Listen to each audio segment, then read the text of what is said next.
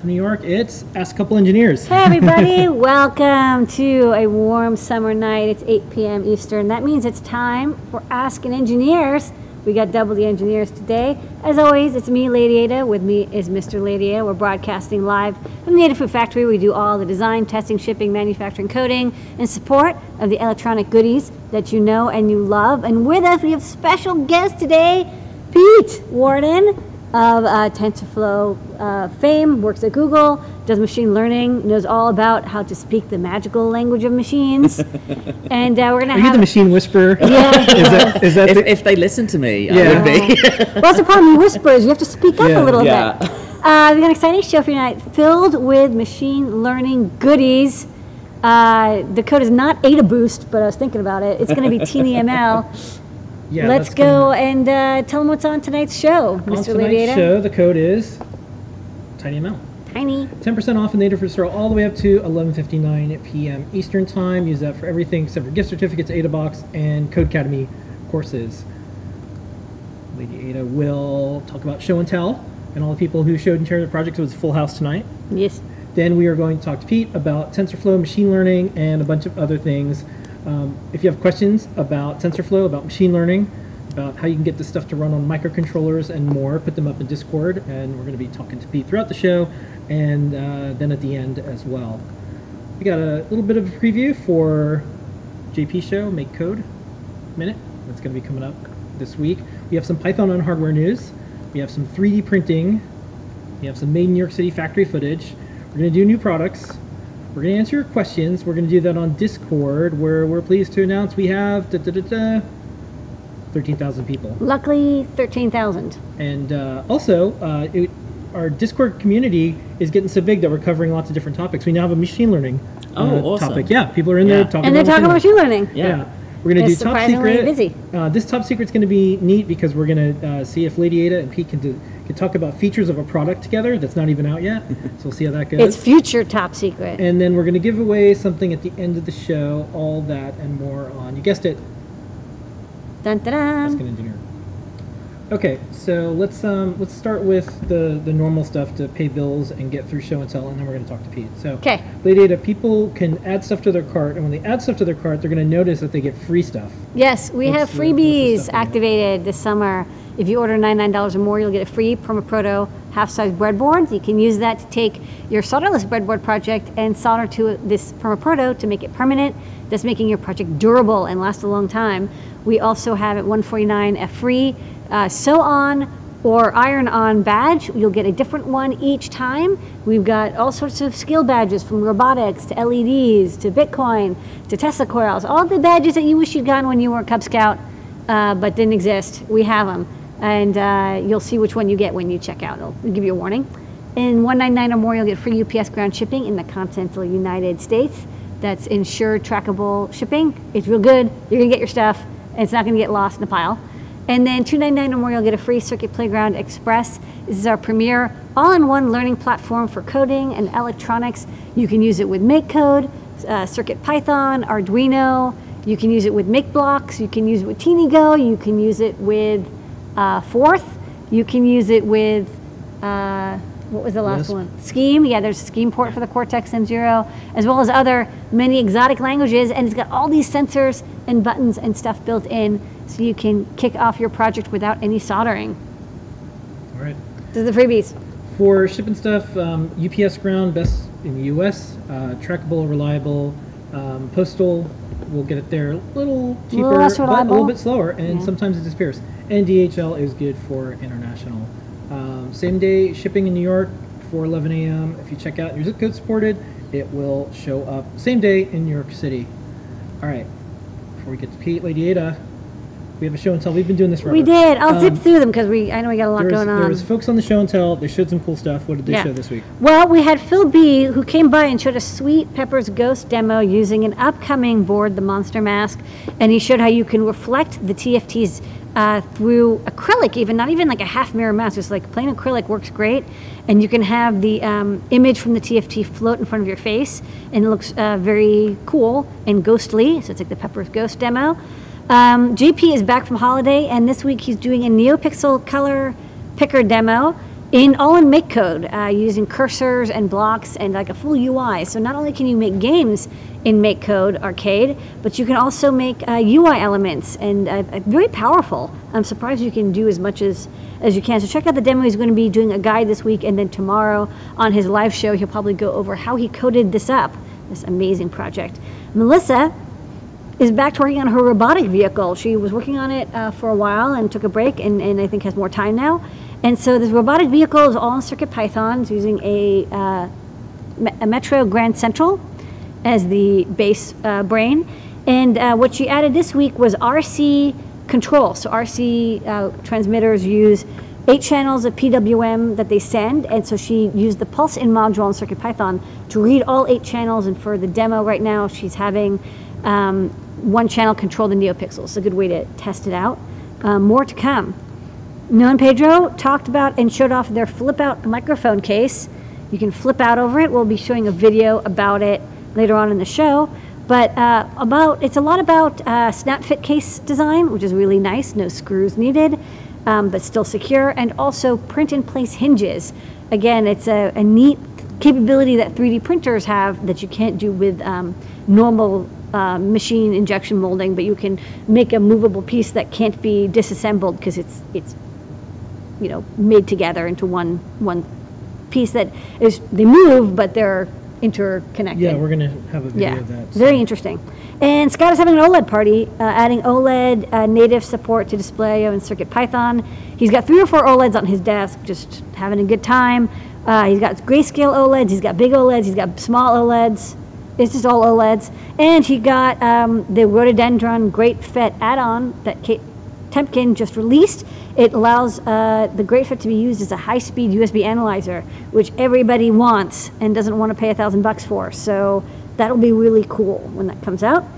Um, Tom uh, came by from the community. He works at a science museum for kids, and uh, they have a static display demo uh, where they like you know you you staticize like a, a rod, and then you hold it above this um, metal contraption, and these two thin um, aluminum foil pieces uh, split apart, and he said his demo has been used for like 150 years, and it's okay, but he wanted to make something cooler. So using a bunch of uh, high accuracy, um, high precision TLV op amps, um, these are very nice op amps from TI.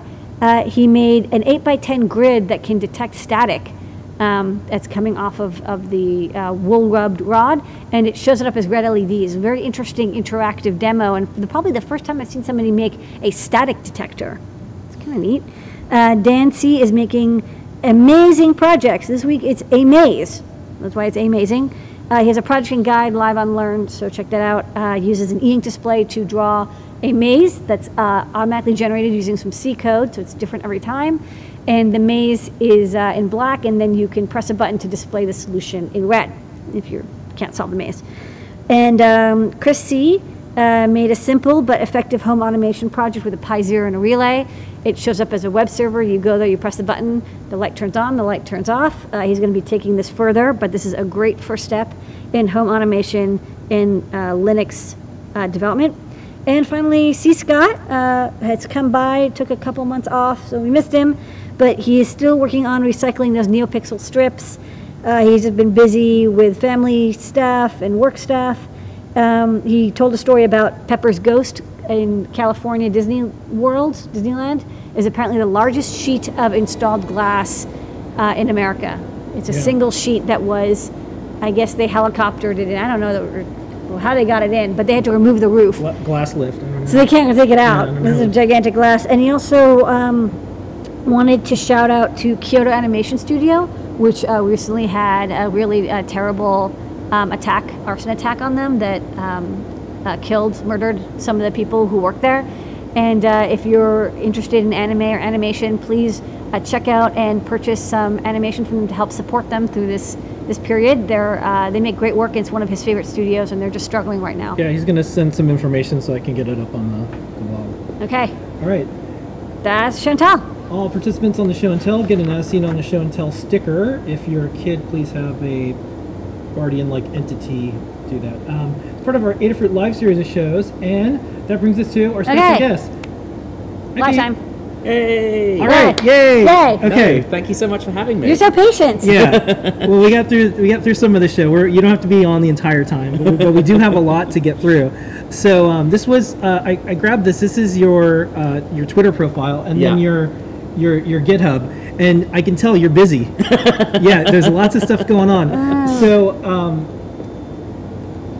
Introduce yourself, but before I, you know, I think the first time I saw your name was when Cory Doctorow started writing about you on like Boing Boing because he, he has Oh, a yeah. real good eye for what's going on. I think it was it, he he pointed to a blog about machine learning. It happened to be yours, so I hit subscribe. You know, I, I use RSS because I'm Oh, old. yeah. Yeah, no, I like, love that I'm, still, I'm old yeah. and I love the internet. that, you know, like turns out, and uh, I have an RSS reader, and uh, every time I'd see a cool thing, and I think maybe it was in April, you had this article, "What Machine Learning Needs from Hardware," and I was like, "Oh, cool!" And we we had some machine learning stuff we were going to do, but then it all kind of just came together recently. So you're here now. You're you're in New York. So tell us a little bit about yourself. What do you do at Google? And, and all Um, so I have the best job. Uh, I get to work on open source stuff. Yeah. Um, Check. yes. Yeah. I get to work on all of this. Uh, I get to work with some amazing people, like some of the biggest pulsating brains in kind of the machine learning world. Um, I get to work on us. The same software that we've open sourced is actually also used for internal Google projects. Gotcha. Like it's exactly the same stuff. So we have lots and lots of people building really cool kind of internal Google things using uh, TensorFlow and machine learning. Um, and I get to go out and sort of help people in the community Yeah. actually build all of these amazing. Like people are always coming to me with these kind of mind-blowing projects that I would never think of that they want to build, and I get to kind of like figure out how we can help them with that. Yeah, you've Yeah. been busy because I, I, I, I see your your your fingerprints on lots of different things. So there's the the TensorFlow world. Yes. There's the TensorFlow like machine learning on the edge, the low power stuff, and then, Yes. like it seems like all of a sudden this is all finally coming together. Yes. I don't know if you if you feel that way. Yeah, no, I mean it's it's really because from the machine learning research side, um, everybody on our team is, and you know, in wider Google is somewhat in awe of people who can actually build hardware and who Yeah. can build like solder. It's kind of neat, right? yeah. Works for me. Yeah. um, and the chance to actually get like we've been building these models which can understand like images can understand people talking can kind of sort of tell what's happening when you're moving an accelerometer and things like Yeah. that but without physical devices to put them into like they're, they're, they're only half the story. If we can actually get Mm. the this machine learning stuff that we're doing out into the physical world in real sort of objects that can kind of interact with people and the rest of the world, then Mm. we've got this amazing chance to build, you know, things that we've never been able to build before. All right, so I'm going to start from the beginning because I know there's a lot of people that are experts, but there's way more beginners. There's people who have not even heard of this stuff. So we'll, we'll start. So first up, um, you got to you got to tell folks what is a TensorFlow, and then what's TensorFlow Lite? Yes. because there's TensorFlow and then there's TensorFlow Lite, and I think that's uh, and then there's TensorFlow Lite for microcontrollers. microcontrollers. yeah, so all of that on there. Pro. Yeah. I know, Express, And so- Extreme. You know, I Yeah. figured we'd start with this. So, Yeah, exactly. All right, So- take it away. so um, TensorFlow is what we use internally for machine learning at Google. Um, and we've also open sourced it, and we actually now have more external contributors than we have internal Google contributors. okay, well that's success. It's, you're not just Yeah. it's not just y'all. Yeah. Exactly. Yeah. Um, and I will apologize right now for the length of my GitHub issues um, backlog, but I I, mean- I, also I have 1,200 repos, I mean, get- so like, I Get in don't line. know. I mean, Yeah. I'm sure I have like should- 20 you should more see issues more his this year. inbox. Yeah. So TensorFlow was always designed with the idea that we wanted to be out in the world. Um, when we released it, sort of four years ago, it had Android support, sort of with the very first like 0.1. Um, but a struggle is that the full TensorFlow is almost 100 megabytes of code. Uh, because it's designed for servers, it's designed for GPUs, it's designed for this these really big environments. Yeah, you need like NVIDIA monster power. Ah, yeah. And and actually, you can. We've managed to squeeze it down so you can run it on um, the Raspberry Pi the full TensorFlow. Okay. Yeah. So That's good. if you want to do training and things like that, you can actually just do pip install TensorFlow on the Raspberry Pi, which we're, we're quite proud of. Yeah. Um, and four just came out and it's a lot faster, so it Exactly. probably will run pretty well. Yeah, yeah. Okay. So you know, but it's it's still if you're looking at like megabytes and megabytes, that's way too big to put into an app Yeah. on a mobile phone, you know, on Android or iOS if you want to download it.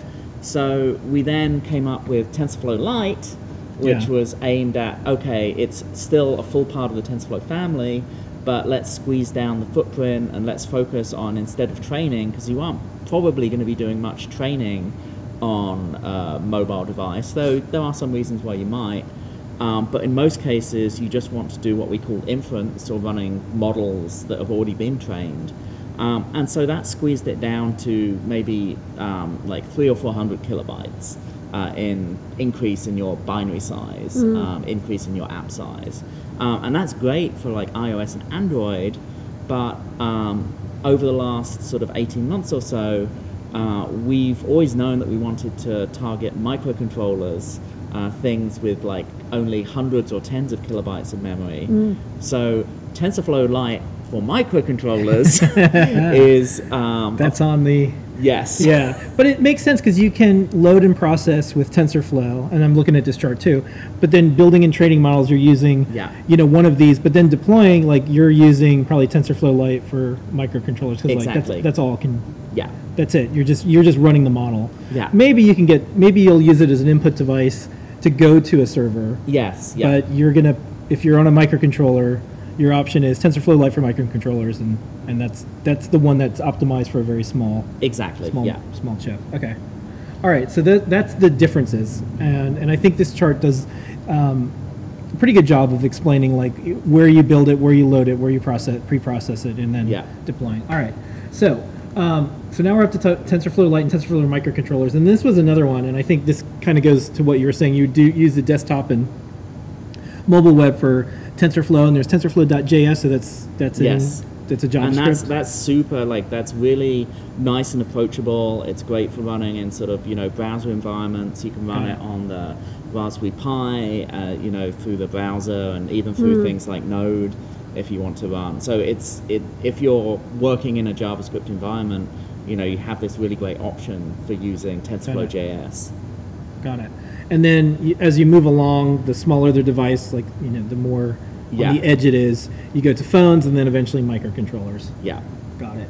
And then uh, the other things. Uh, this is the estimate. So this is where I think folks could uh, hear like the translation of this. So what is uh, the each section here? There's a save model, Lite converter. Um, we know what they are because we like we've been living Yes. we've been living with the machine. been tearing your hair Yeah, we've, yes. we've been making TF Lite models, but what Still what, have some hair. what is this Yes. gradient of different things that you can do? So, um, when you're building a model in Python, you're probably wanting to use a pretty high level API. Um, usually, like Keras is the one that's most popular and that we're, you know, standardizing around um, to actually build these models and then say, hey, I'm going to train this for like several hours or several days or even like weeks for some of the larger models. And is that in Python? And right that's or, um, it's in Python or Swift. okay. There's actually some really interesting work um, happening with Chris Lattner of LLVM fame, um, actually getting Swift as a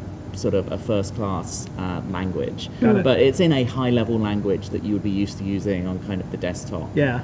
Um, but then you want to take that trained model and kind of squeeze it down and kind of get rid of all of the bits that you don't need when you're only running prediction. Um, and so some of these things, you know, the saved model and the TF Lite converter, we're working on simplifying them. Um, but at the moment, you have to sort of jump through these various transformation stages to take all of those weights, um, those numerical values that kind of store the connections of your network after it's been trained, and kind of put it into a form um, that you can just load, like a really simple file that you can load into your inference engine at the TF Lite side.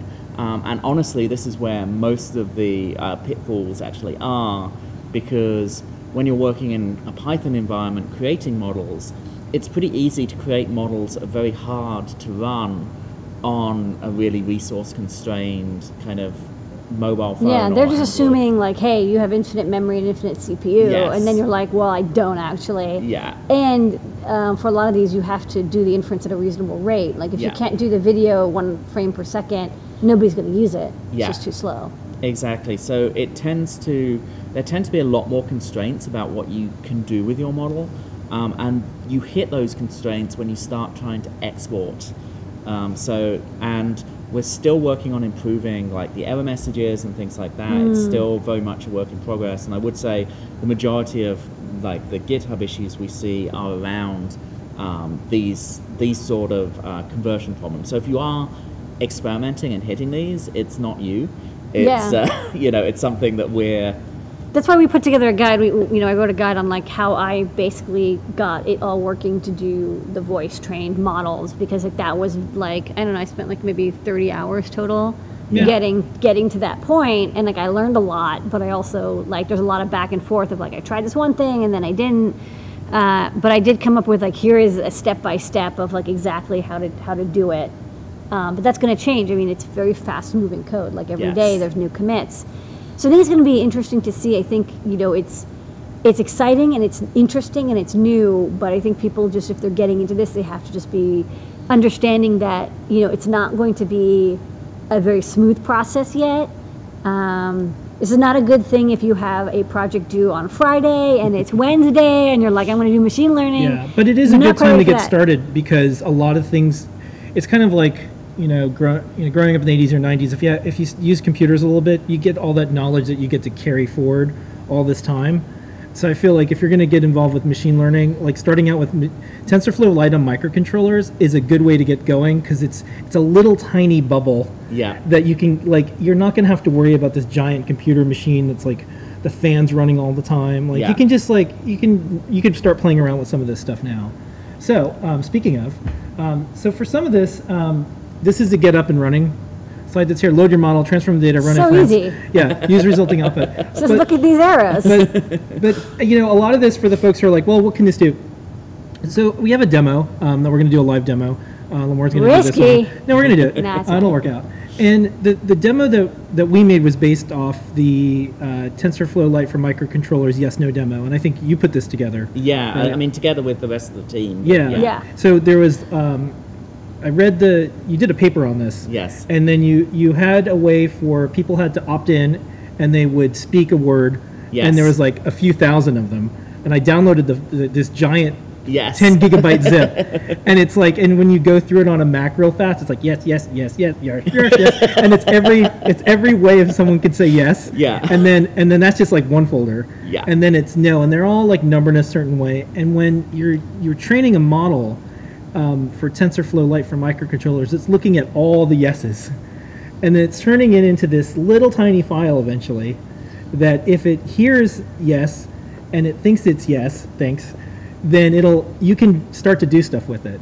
And when we saw the demos out there, we were like, oh, you know, we got this cool Pi gamer and this cool Pi badge. We can we could put a graphic on it and we can give some feedback and we could do audio feedback so that we're weird like we're just coming at it a different way which is which is why you do open source Yeah. you know and we're like this is kind of neat because you can get real-time feedback from what's happening on the inside this like brain Yeah. so let's uh, let's try a live demo which is always a mistake um, you but want me to do it or? well you know i kind of feel like you should try it and then we should try it let, let Pete Yeah. try it yeah so All right, yes, we got, this is actually the kit that we have in and this the- is from our the shop. existing hardware. This is a SAMD uh, 51. We have a graphic that says, "Hey, you're running TensorFlow."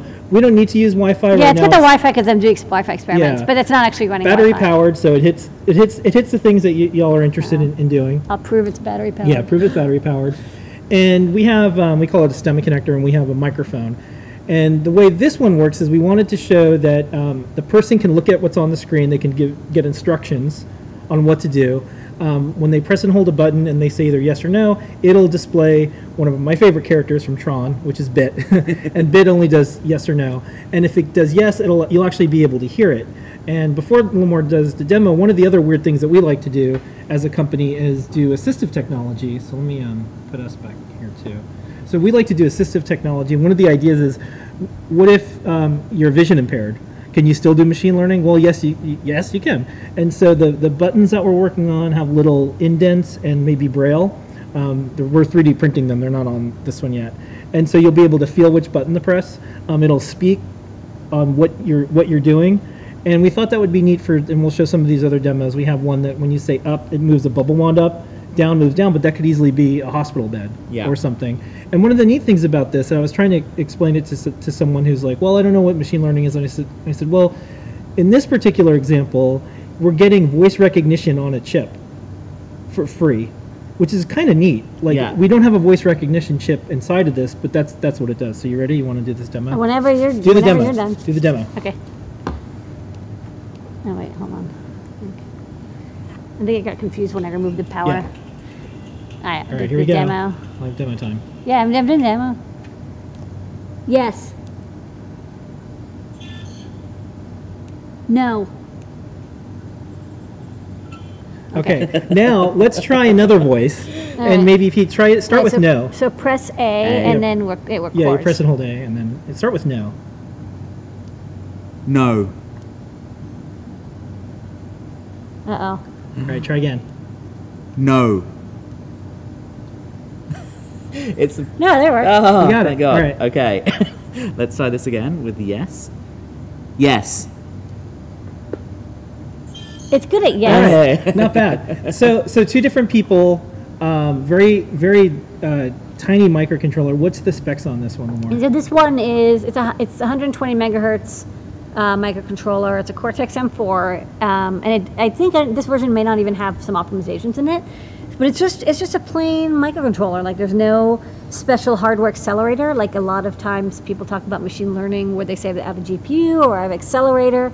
Um, this doesn't have that, and that's what's really neat about it is you don't need a special chip. So if you have a chip that you like, such as like the ESP32, which has built-in Wi-Fi, or the nRF52840, which has Bluetooth, you can add simple machine learning to it without having to increase your bill of material size, which is a really important thing for engineers. They are like, well, I don't want to buy an expensive chip, and I don't, or maybe I don't need that much intense machine learning. So what's needed is really just running natively. Yeah. And the, you know, one of the things we've really tried to do is make the code as easy to understand as we can, because, like you were saying, uh, a lot of people think machine learning is this kind of big, scary kind of thing in the cloud. Um, and when you actually get down to it, if you look at the C++ code that's kind of implementing this, I think it's a few thousand lines, um, and you sort of step through and you see what it's doing, I think a lot of people out there in the sort of embedded world will just be like, oh, is that all it is? Yeah, that's actually well. I read the I read part of the paper, but for for people who who do Adafruit stuff, we've had a couple of uh, FFT projects where you look at the spectrum. Yeah. And you do audio projects where it's like the bass and the treble, and you have like little lights going. And you know we have code for this. You know the the CMSIS code, or we have a library to do FFT calculations. This is basically just taking a lot of FFTs. And then it just puts them into a grid, and then it just matches that is close up, you know, over time and frequency. So you have a time and frequency graph, and then it just overlays that over the yes and the no time frequency graph and just sees, eh, is it a fuzzy, close enough fit? And that's all it's doing. That's machine learning is actually not, the complicated part is getting that time Yeah. frequency matrix. That's hard. actually doing the fit is not that hard at all. I mean, it's hard, but it's not incredibly hard. It's something you can do on a microcontroller. And that's all it's doing is just taking a bunch of FFTs and then, you know, spreading them over time and then trying to, to match. So that's the that's the first one we did, and we wanted to have something for folks. So we did we put a kit together. It sold out pretty fast. Um, we'll have more in stock soon, but it's exactly what This you is saw. Jelly. Yeah, this is uh, Jelly. She works in new products, and um, it comes with the badge and the microphone and a battery and the cable you need. And we also had a graphic, so it's like here's yes. I actually used the word yes. That's funny. And so after we did this one, we thought, well, um, the yes no model is out there. Let's try to let's try to train our own, and let's try to do up down. Okay, and then 20 hours later. Yeah. So we trained the No, model. this is just no, the first time. we That's trained- after I got used to it, it's like yeah. two hours to we train trained the model. model. So I'm going to play the video because it, it's bubbles and stuff like that, and so we'll we'll play the video. Okay, more models Yeah. coming up. Down.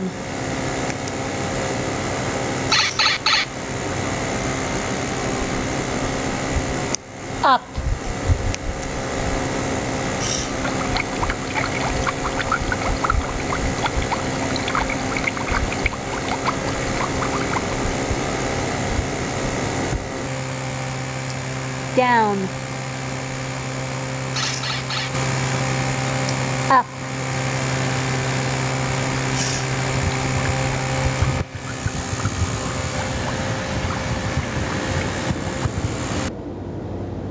Okay. So that one we used same microcontroller, um, same microphone, and we attached a servo to it. Servo just plugged in, so still battery powered, and that's I think it's one of the first uh, TensorFlow Lite for microcontrollers that uses a servo. Yeah. You tell me. This is that's that's one of the reasons I wanted to have you on the show. It's like because we're weird and we just start doing weird stuff, and then it's like, well, who do we find out if this is? Are we just? Is this something someone's already done, or is this like?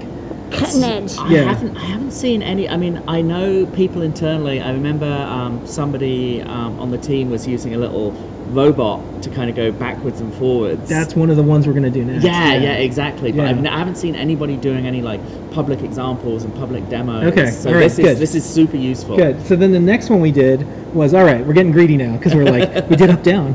We got yes no. Let's try to do three words. Now eventually you run out of space. Yeah. You know, microcontrollers will have more space. Will get faster. We got plenty of Moore's law for the people out there. Like Moore's law's over. Yep, probably for computers, not for the stuff we're doing. Yeah. We got we got a little bit of room. So this one is the triple word one, but this one we did something really neat. Um, Limor did this thing called Arcada for our, our video game stuff in Arduino. Maybe you can explain it better than me, but we we made it so you can easily put things on it, and there's a JSON file. But Yeah, and we can basically configure it so instead of having to recompile the TensorFlow Lite micro core, it actually loads from disk. Basically, you have a file, the TF-Lite file, and it loads that into memory, and then it basically executes it. So you can drag and drop different TensorFlow Lite files. So I, you know, I have only one code running on the micro, and then you just slot in which TF-Lite project you want to do, and then you just have to have a JSON file to tell it, oh, you know, slot zero is this word, or slot one is it, because that's not in the TensorFlow Lite model. It only does the matching and it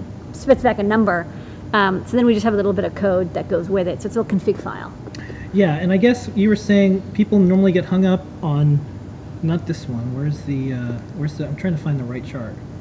No, that was the one. No, that was the right the, the one. previous one Yeah. yeah so we didn't i i just recently found this slide deck so this is what when as soon as we start playing around with this i'm just like what can we do to make this easier Yeah. so it's more like cartridges going in like Yes. I, like it'd be neat if we had little models Yeah. and then instead of having to recompile an arduino each time wouldn't it be neat if you just changed the json file Yeah. so that's that's what we ran into and our job is usually how do we get someone going in five minutes Yes. so the hello world we blink leds but for machine learning the hello world is you might say hello to it so we didn't train that model yet but Yeah. you know we wanted to be able to have a kit for someone who's maybe never done anything Yes. speak into a microphone and something happens pretty good Yeah. otherwise they're going to be like you know what i don't like this you Yeah. know, machine learning ah, um, wake me up when it's you know you know years from now so we, the next video we have is the triple model and we have um, a view on our, our desktop computer so you can see what happens when you plug in the, the model and the, uh, the device so here we go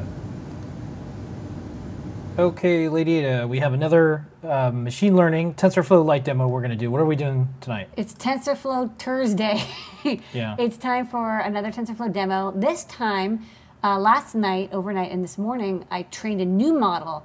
Uh, last night we did cat dog, um, and then before then we did yes no. But now we're trying out new things: cat dog bird, a triple word model. Yeah, this is the first one that we've ever seen, and uh, it was also to test how this works. And you were able to just drop the model in, add another line in the JSON file, and we're off. Yep. So it's going to work like before. So if it's uh, if we say cat, it'll show a picture of a cat. If we say dog, it'll it'll show a picture of a dog. Woof. And bird, it'll show a picture of a bird. Tweet tweet. So let's try this out. Okay. Dog. Bird. Cat.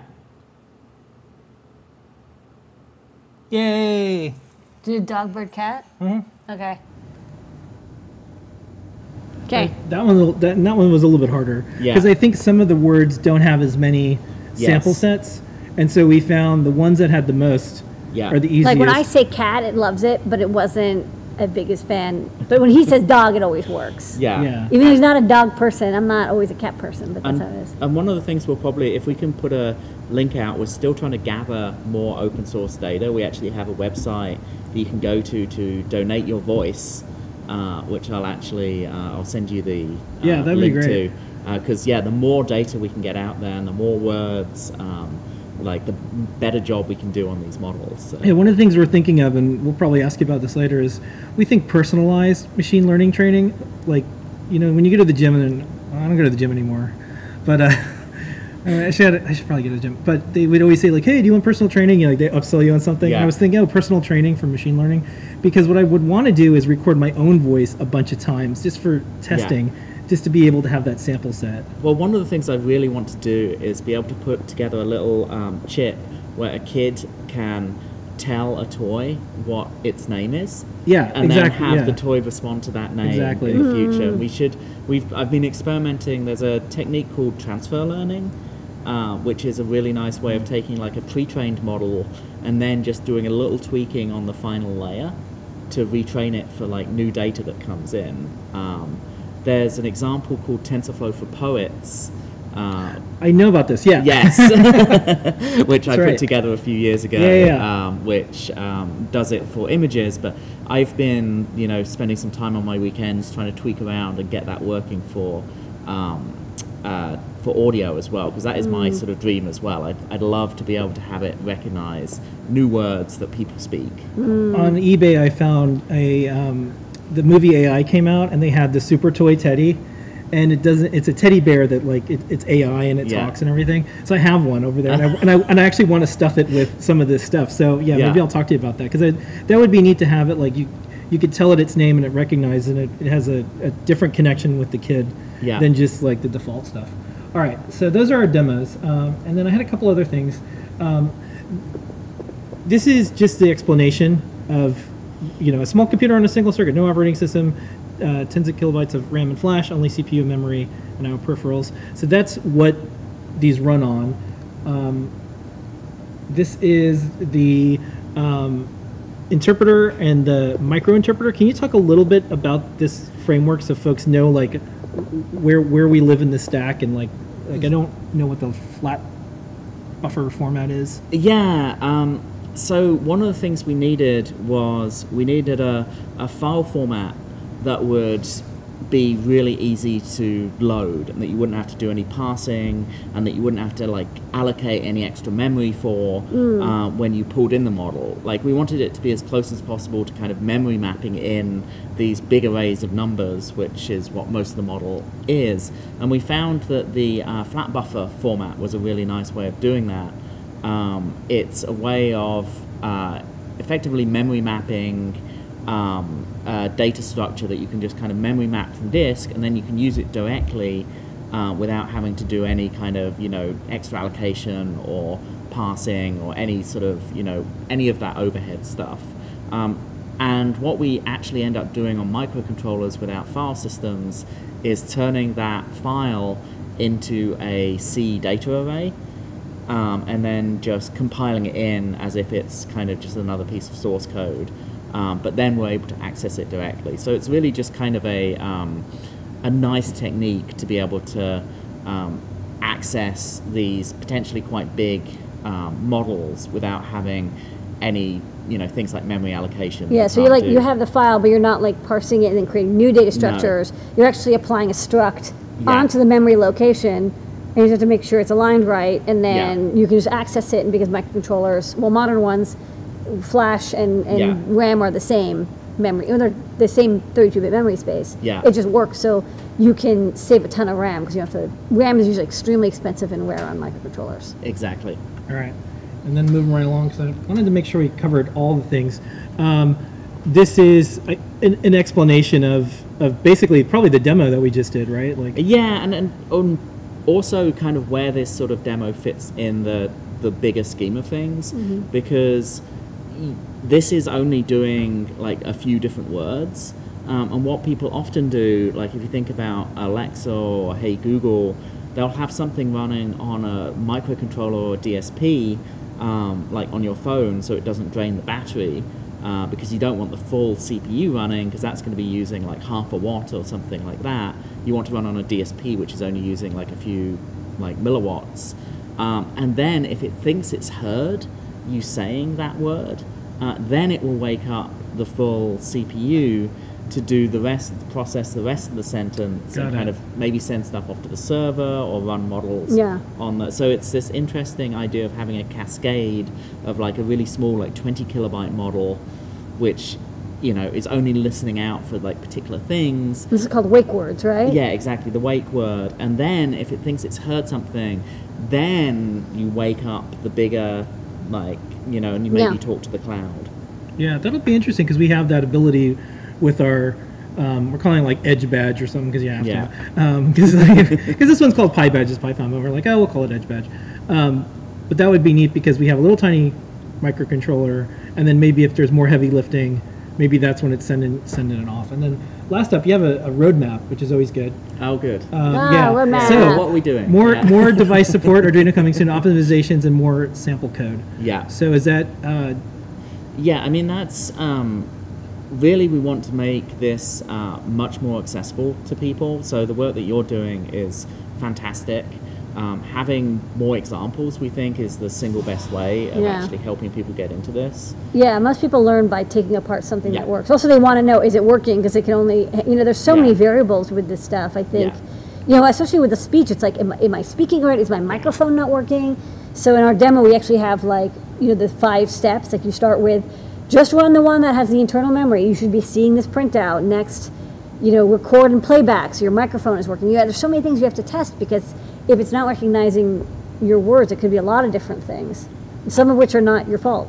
exactly and like we we see you know the nice thing about this stuff too is it's like we're showing off speech demos here but we can do the same uh, we can use the same code to actually um, with different models to do image recognition uh, so we're working on some things like hey is there a person in the picture Yeah. if there's a person Yeah. in the camera image then you might want to like wake up something else or Yeah. you might want to kind of Also, you have like low latency, so you have instant feedback. So, you know, if you do have a cloud back for voice recognition, which most voice systems do, when you have the wake word, they can at least say, like, I'm here. yeah You know, like, hold on, I'm waking up. And like, just like humans, like you say, like, hey, and then it takes them like a half a second to turn around and be like, okay, I'm listening to you now.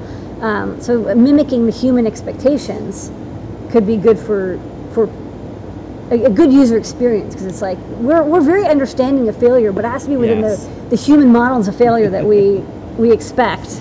Well, one of the things I want to do as well, talking about a more natural voice interface, is actually see if we can do something around gaze detection. Yeah. So Oh, yeah. if your device can tell if you're looking at it or not, yeah it will be able to know whether it should be like listening and responding. yeah. Yeah. Sometimes with my iPhone, you know, I have the Face ID. It's it can when it puts up a message and it's locked. If I look at it, it it'll unlock it, which is Yeah. kind of what you want. Um, my previous life, I worked with Sony, and uh, I got a chance to work on the AIBO and the Cur- the Yeah. QRIO, which uh, QRIO is like I wish they would open source it because it was a humanoid robot, but you know whatever. but the AIBOs are still around, and one of the Sony engineers told me um, that their strategy was to make it a puppy because it, it didn't really work that great. But if it's a puppy, it's cute when it bumps into the wall. But if it's a dog, it's a stupid dog. so so they're like we turned into a puppy and it solved everything. So that's why we're like we're trying to have that kind of fun five to ten minutes where maybe you're just swapping in models. That's the first Yeah. and that's a good classroom setting. Like what is machine learning? What is this? And then eventually you can start doing more. But that's that's the idea. The same type of like human things where like maybe it notices you're looking at it, maybe it's a wake word, maybe it's something else. So okay. Okay. All right. So um, next up, if you have a uh, phone or whatever, you have someone with QR codes. This is how you get started. Yeah. Got that there. And then you have a book coming out. Um, I was an O'Reilly author, so congratulations on that. Um, good luck. Your book will be late. That's just how. that's just how, that's just how it is. Sorry. So Oh you're coming out. I've got 350 pages. Whoa. yeah. So you can get this on Safari right now and see. I think the intro and some of the things, but it's going to come Yeah. out next year, and it's called um, TinyML, and that's going to be the next part of this. And if you do a cool project with all this stuff, you might get into the book. Yes. you might get, there's you still might get time. written in. yeah. Well, yeah, I'm hedging my bet because it's like, you know what? I think an Adafruit tutorial might be in there. Yes. so you're, you're doing this book, TinyML, and um, just so folks know, so TinyML, I assume it's tiny machine learning. Yes. Yeah, but that's that, that's something that covers or could cover everything. Could be TensorFlow, could be other things. I, I assume this is the bigger umbrella that's just like yeah, you want to do yeah, machine learning and microcontrollers. This is the big umbrella. Because you know there have been other like there's other really interesting open source frameworks out there who are experimenting with machine learning you know obviously i'm on the tensorflow team so that's Yeah. you know that's why i spend a lot of my you know a lot of my time but um, there's a great um, little experimental framework called uTensor um, that an ARM uh, engineer put out sort of uh, a while ago, which does some really interesting stuff. So there's a lot of activity um, and a lot of different hardware as well coming out, um, focused on, hey, can we run machine learning on this really kind of And what, is these does it what does it mean, right? What is machine learning Yeah. when it's that small? yeah, exactly. What's it, what's it going to be most useful for? Like, you know, Yeah. where are the killer applications and okay. Yeah, we'll find out. And then, um, so since Tiny TinyML's thing, there was a TinyML meetup um, last month, the first one, and then there's one tomorrow. yes, This is happening. Wait, yes in the Bay Area. Yeah. Okay, so, not here. so at So- Qualcomm, there's a TinyML embedded machine learning meetup. TinyML embe- enabling ultra low power ML at the edge um, tomorrow at 6 p.m. If you're in Santa Clara. that's like when if you know you open a, a you get Chinese food, you get the fortune cookie, you say at the edge, at the end of the fortune cookie. So you You will have an interesting life at the, The edge. edge. So um, this was the, the the this is this will be the second one, but the Yes. first one was uh, just a couple weeks ago, or just a few weeks ago. And were you at Yeah. the, you were at the first one? Yeah, I was at the first one. And how'd it go? Um, it was really, it was really fun. Like there were so many people with projects that I'd never thought of. Um, we actually That's are good. having an open mic um, for this one tomorrow night. Please, So, please take the idea of show and tell. yes, please do it exactly. And yeah, record it so and- people can see it. People yes, love that. Yeah, no, that's the biggest. And thing. you're Even on a phone, You're you know? you're at Google, and I know that uh, there's different groups, but like maybe we could keep Hangouts going for a while. yes, because there's sunsetting, there's sunsetting Hangouts. I get it. There'll be something else, but maybe just like the machine learning people can use it. And then there's also an event coming up, and I think I have a slide for that. Um, there's an event coming up, and it's the TinyML Summit Uh, yeah, 2020 in yeah. February. This is coming up in Yeah, California. So we actually had one in uh, February uh, of this year. Uh, it was kind of like the first one, um, and we really got together because it's this really interesting area where you have to have hardware people, you have to have machine learning people, you have to have people who are like building software infrastructure, and a lot of different people are working on it from their like their directions in their little worlds, but we don't really know each other and we don't really talk. Um, so trying to just get people together who are all interested in, hey, how do we run machine learning on these really tiny devices? Um, it's it's really the big goal of this summit. It's just like let's get us all together, let's get get us talking. Uh, you know, I'd love to have um, you know somebody from Adafruit there uh, if we can you know. If you can beam us in, if you can beam us Yes. in, we'll do it because we're good with live video. It's just Yeah. hard. It's you hard. saw this was Yeah, you were exactly. here. It's hard edits. to. It's hard to get. It's hard for us to leave like the four block radius. Yes. To run an Adafruit. Um, but that being said, the first one, um, there was video recordings and all of the content was posted. So who's ever doing that? Yes. Um, hat tip and kudos and. Uh, we do hug reports instead of bug reports because Ah. like bug reports kind of sound bad. Yeah. Um, whoever did that, good work because Oh, we were able to gra- we were able to like tune in and like okay like we, we're keeping up with this stuff. All right, well that's um, I think we covered just about everything. Um, is there anything else? As we Uh, didn't. You want to cover? No, no. I think um, you know. I'd just like to say thank you for all the work you've put in to like getting this machine learning demos up and running. It's been so Yeah. cool to see, and you know the same to the like community out there. It's been you know what keeps me going is seeing all of these amazing um, you know things that people are putting together with this stuff. So, yeah. Well, we, we have Machine Learning Monday now, so we'll have something interesting every Yeah, week. we're trying Yes. to put ourselves on a schedule where it's Machine Learning Monday. But one way we look at it too is like there's there's giant companies and then there's independent developers and there's this whole ecosystem and and menagerie of people doing this stuff. But I look at it like um, skateboarding, and we're kind of doing skateboarding tricks now. Yeah. And I kind of feel like we just did a pretty cool trick. Like here's a neat trick. Like you can use JSON and like put these things in, and we have this yes no, and we have graphics and everything. Like that's our trick, and we want someone else to do a trick, and then they publish their code, Yeah. and then we build off of that, and we Yeah. keep doing it. And so that's the idea is by, by us putting this stuff out there and, and doing open source, is that we're we're not this is not a commercial package. This is not like this is not a this is not a finished good. Yeah. It's it's something that you can have fun and experiment with, and we want people to start doing tricks with it. So, okay. And at the end of the show, we're going to be giving one one of these away. Yeah. All right. So stay so tuned. All right. So what do you want to do? We're going to keep doing the rest of the show because we're going to go to 9:30 on the show tonight. If that's Okay. o- if that's okay with uh, everybody here, and we're going to squeeze in everything. Well, I'm I'm chained to this desk. I actually can't leave. you leave. can't leave. Uh, so I that's why I don't see so me Pete, move. you're done for a bit. Uh, Limor, do you want to want to do the rest of the show? I can't leave. I'm chained to this Can't desk. leave? Okay. All right. So let's uh, let's kick it off to the rest of the show. You ready? Okay, let's do this thing. Okay. Next up. And Pete, you can chime in at any time. Yes. That I'm you just want. gonna go get myself another soda. All Yeah. right. All right. Well, you he's not change. Yeah. It's. Make a minute. So this is Make Code Minute, and um, this week is a preview. JP's back from vacation. Yeah. So this he's is all the- suntan. Yeah, not this really. is the demo that um, JP showed this on the show. yeah. but this is using NeoPixel. MakeCode, controlling NeoPixels, and you're able to use a really advanced interface, but it's all in MakeCode. So he'll be showing this off tomorrow at uh, 4 p.m. 4 p.m. or whatever JP's shows. I don't remember. Yeah, it's 4 p.m. 4 p.m. Well, it's he's in different times. different times. Why I don't remember. But um, interesting because it's not just for making video games. You can also make user interfaces with it. And so this is kind of fascinating to me that um, Make Code Arcade not just as a gaming platform, but as a uh, user interface platform for applic- like portable applications Yeah. that are, you know, arcadey. So that is JP's uh, demo. Yep, We'll next show- week. We'll show this off. This uh, week. Yeah, he'll show this off tomorrow. and then a guide this week too. So stay Okay. tuned. All right.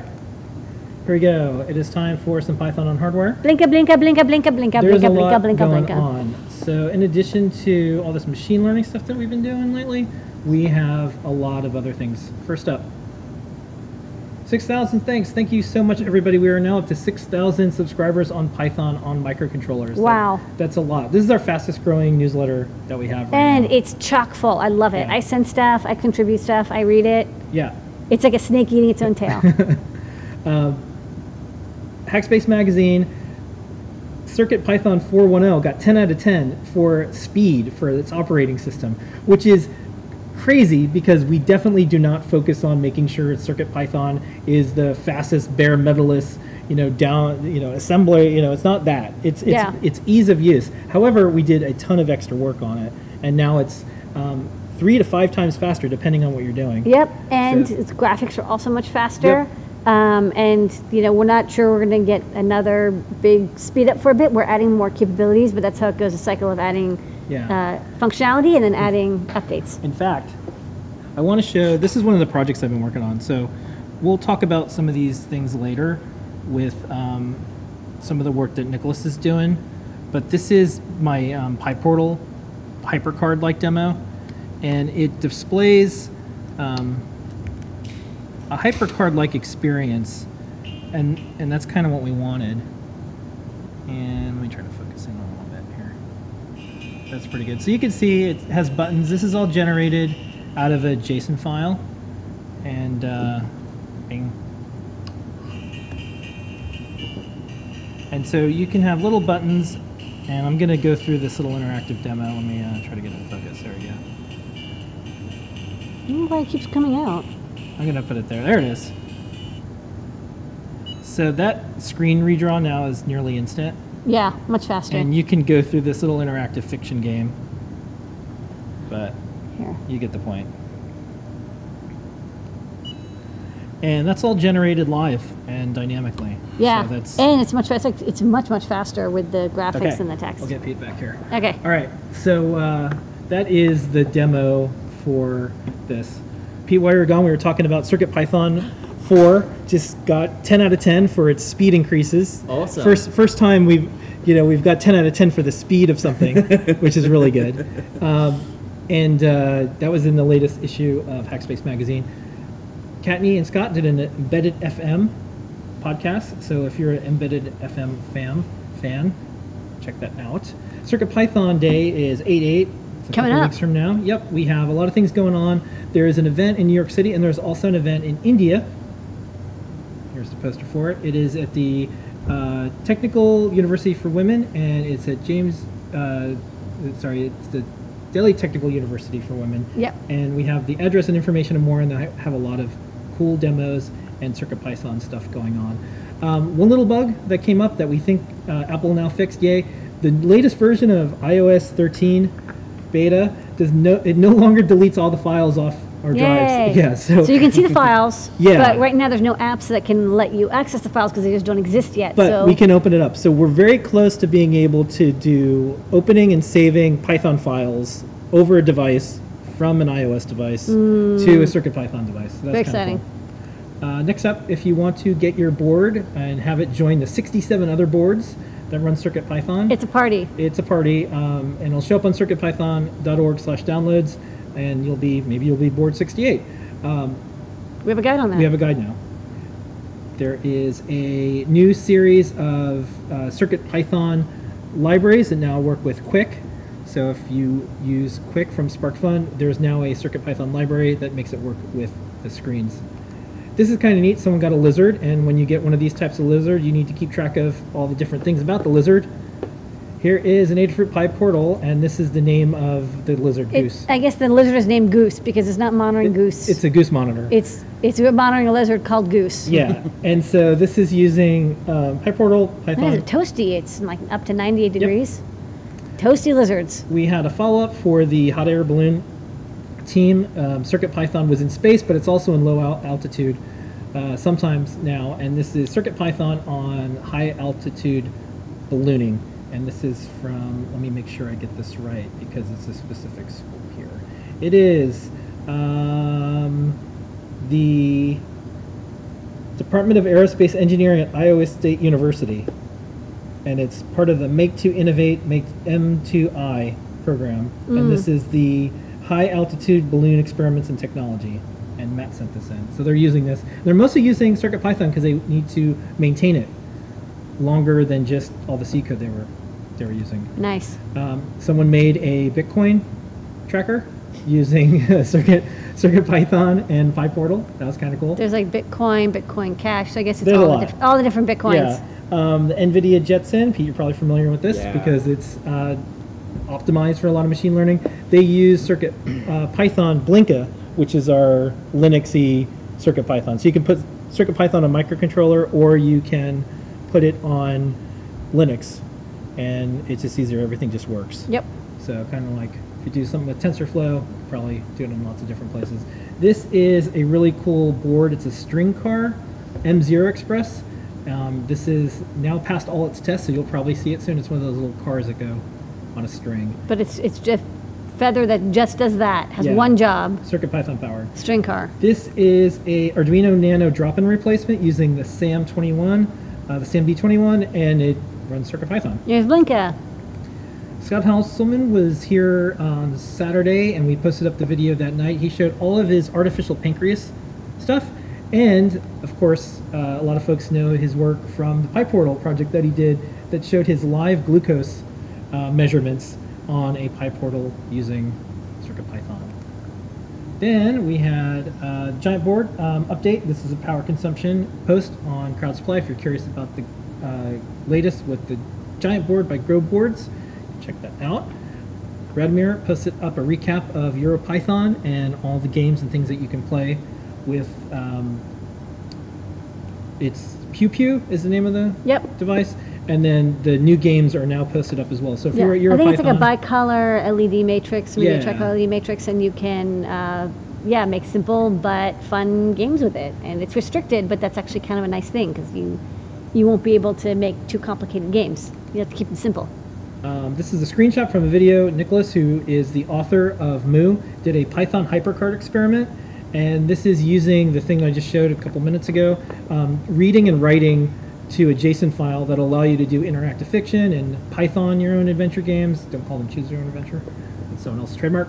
And um, you can build stuff like this. And we got inspired by, if you grew up on HyperCard, um, this is me putting the HyperCard image on a PyPortal. So I'm like, hey, the screen size is looking pretty good. And we also just saw the movie um, General Magic, and we have a General Magic device here, a Magic Cap device. It's like, okay, we're getting really close to being able to do these things. Uh, microcontrollers are now able to do this stuff that the, the top of the line stuff ju- just did a few years ago. and then we have some more things that we're doing with cursors, so you can make UIs and more inside of Circuit CircuitPython. And then It's an OLED party. yeah, and then OLEDs, OLED, OLED, Scott's working on this stuff. Um, he showed Getting them, them going. It's slowly making its way into mainline. So Yep. uh, if you've been wanting to use OLED displays with Circuit CircuitPython and have them work with Display displayio, which is great because you can do bitmaps and animations and sprites and text and fonts, that is coming very soon. And then we had a little bit about Circuit Playground, Bluefruit Express, and this uses the Nordic NRF uh, 52840. Um, we're probably going to try to get TensorFlow running on that. I don't see why not. It's a Cortex M4 and it's actually Yeah. got tons of RAM on it. Yeah, and this is um, going to be our, our wireless Bluetooth version of our very popular Circuit Playground Express. In case you're wondering what the range is, it's at least 40 feet. yeah, it's yeah, it's it's a it's across Washington Square Park. And then I ran out of park. we ran out of park. Yeah. And then this weekend, Kattni is uh, keynoting at uh, PyOhio. Ohio. So check that out. That's coming up this Saturday. And as always, um, if you're interested in learning Circuit Python, Codecademy still has the Circuit Python course. That is the Python on hardware news this week. Blinka, blinka, Woo. blinka. All right.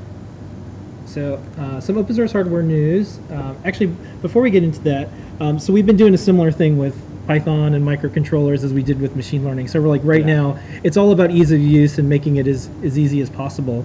And then we did a um, newsletter. Now Circuit Python's been around, so it's, it's similar. It's like how do we get how do we get that first five minutes Yeah. where you you just plug in a, dri- a device, it shows up as a drive, and you're just editing a Python file and something happens. There's no Yeah, you- compiling. You, get that delight of Yeah. like, oh wow, this actually Also, works. your Yeah. tool chain lives on the chip, so there's never any tool chain mismatches because Yes. it's like it's a completely enclosed like biosphere of code, which is which is kind of nice because it's like you never, you know, even Python, it's like it's really hard to get working on desktops or first type. Oh yeah. Um, especially if your um, OS like kindly comes with Python 2 already, and then getting it out and then putting in Python 3. Yeah. So this is a really neat way for people to learn Python, which which I actually think is easier than on the desktop because it's just fixed. It's Yeah. fixed in, in, in the device. So that was the idea. Like, let's take all the things that we heard people really like about Circuit Python, and how can we make that work out well in like an Arduino environment? So it's like, well, let's have it show up as a drive. Let's have files like a real Yeah. file system, and um, so Circuit Python is, is going in all different places, even when it's it's not even Circuit Python yet, but we'll get there. The philosophy. All right, so before we get into the guides, um, one announcement. If you happen to be in New York City, um, Adafruit's going to be at the Game Devs of Color Expo, and we're going to have some giveaways. We're sending stuff over to the team there, so do check that out. We're a sponsor, so that'll happen this Saturday in Harlem. Um, and our open source boards that we have, that um, the, including the PyBadge, will be there.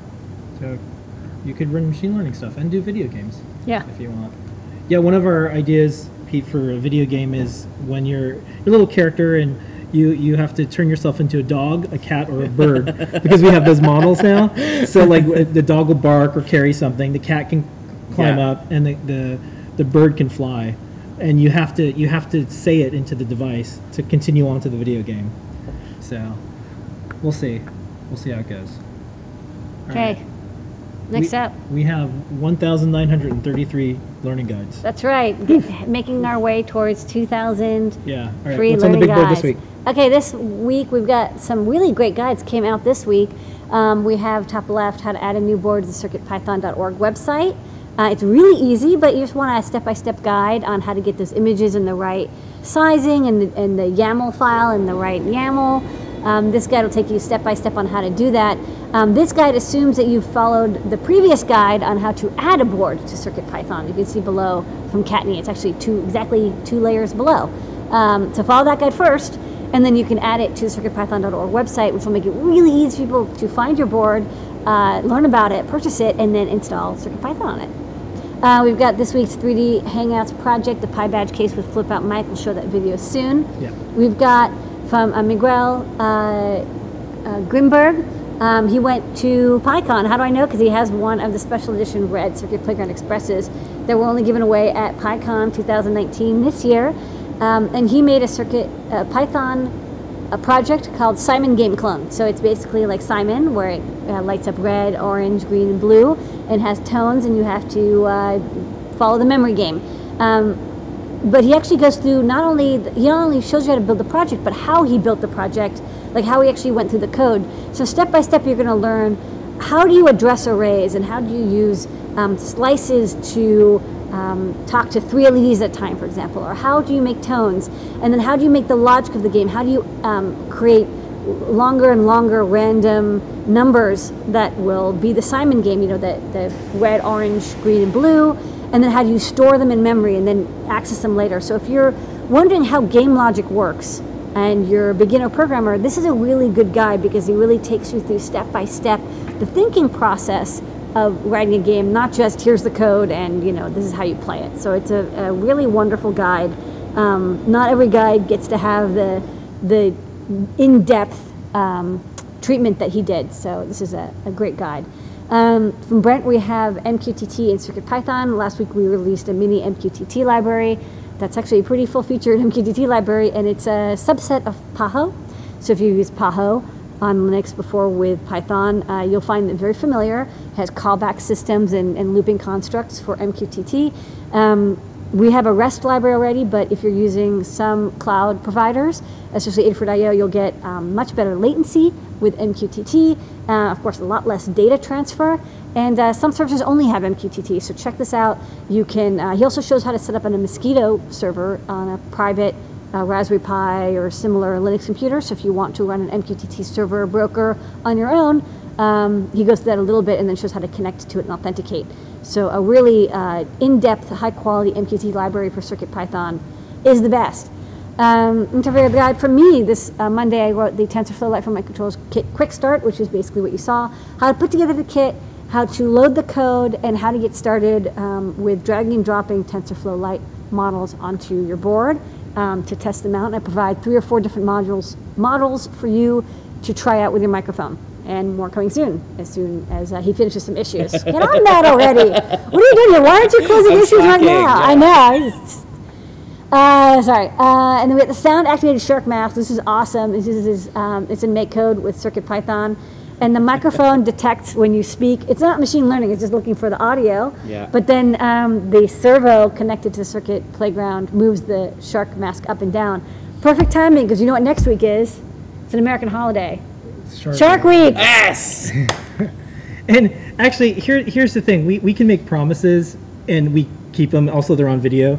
So one thing we, we want. So we have this poster. It says, uh, "Make robot friend, not robot enemy." So here's one thing we wouldn't do: we wouldn't do a machine learning project that's like a shark biting or eating someone because like No. there's, there's already there's already enough baggage Yes. like our science fiction authors have all said like okay Yes. whatever code you write it's probably going to meet you one day and you better be nice to it yeah. so like we listen to that we're like okay like make robot friend not robot enemy we have all these puppets and we, we, It's we very nice shark but, mask. but that's one that, that's one thing that that so far I really like what's been going on in the machine learning uh, from microcontrollers world Yes. because it's just been a lot of like oh cool like here's a neat demo and it's speech recognition and it's like image recognition the the the things that people worry about with AI have, hasn't hit there yet and I think it's Yeah. nice because it, it's a little tiny thing so that's Yeah. one, that's our promise we won't do anything terrible Yep. so yay I don't know if you can get folks to agree to something at like a tiny No, no, ML I- summit like I, I think I think that's a great idea. Yeah, I think like- that's you know that's definitely what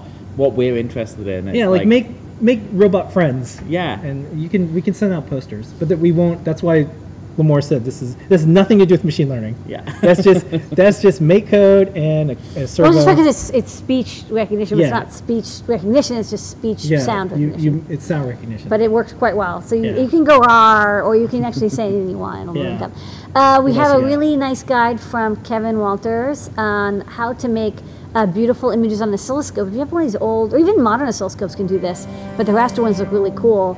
Um, you can use CircuitPython and play very custom-made audio files that use the analog DACs on our boards to make. Uh, in this case, it's a, it's a two DAC board because it can do X and Y. The previous one was only um, one DAC, so you could only do like a sweeping image.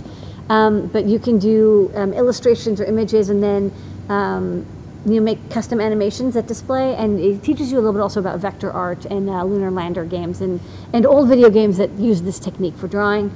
And finally, we have the e-paper maze maker from Dan C. He was on Show and Tell if you want to see him chat about it. Um, but uh, displaying a custom, uh, unique maze each time on an e-paper display, and then when you press a button, it'll show you the solution as well. Okay, and then uh, I was gonna just play like a couple seconds of this Simon game so folks can see it.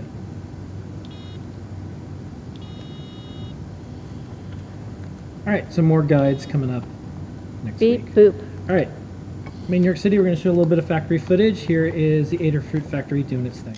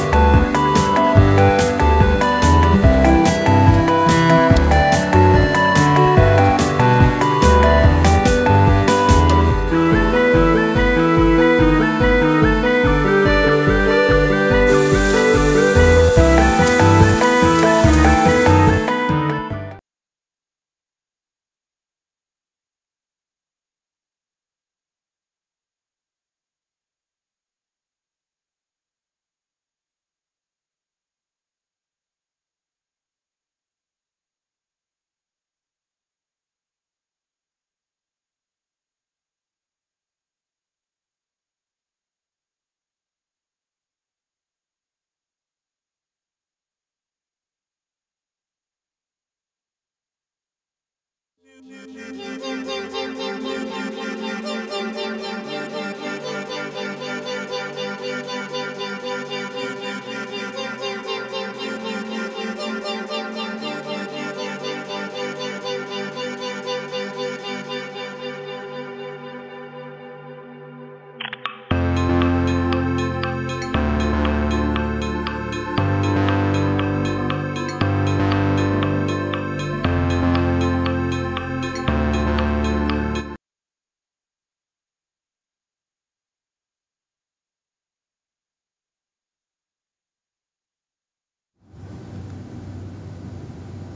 Wouldn't be a factory footage recap without a sunrise or sunset. We set up a camera outside the window from where the picking places are. And this is what they wake up to or fall asleep to every single day. So good old time lapse. Okay, we have um, two quick 3D printing bids that we're going to show. The first one is um, the flip out case, and then the next one is a speed up. So we're going to do one after the other. Yep. All right. Hey folks, we're testing out the 3D printed case with a flip out microphone and I have here loaded Lady Ada's TensorFlow Lite demo.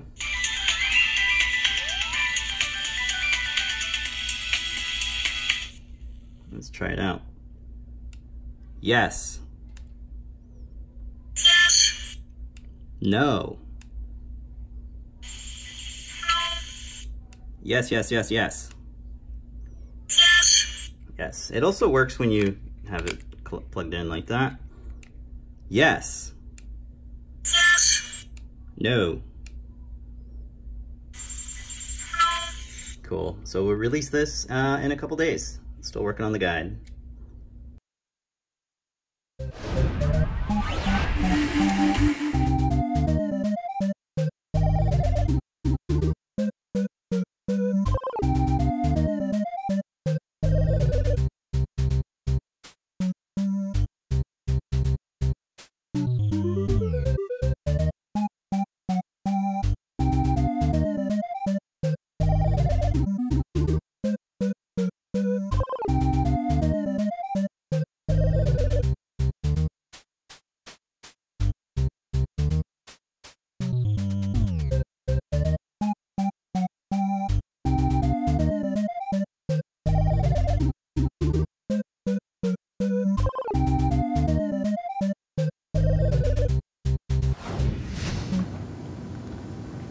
Okay, and don't forget, Noe and Pedro have their show every single Wednesday. You can learn how to make all those things and more. It must be close to new product time because uh, we're switching desks here. That's right. Um, I am not chairs.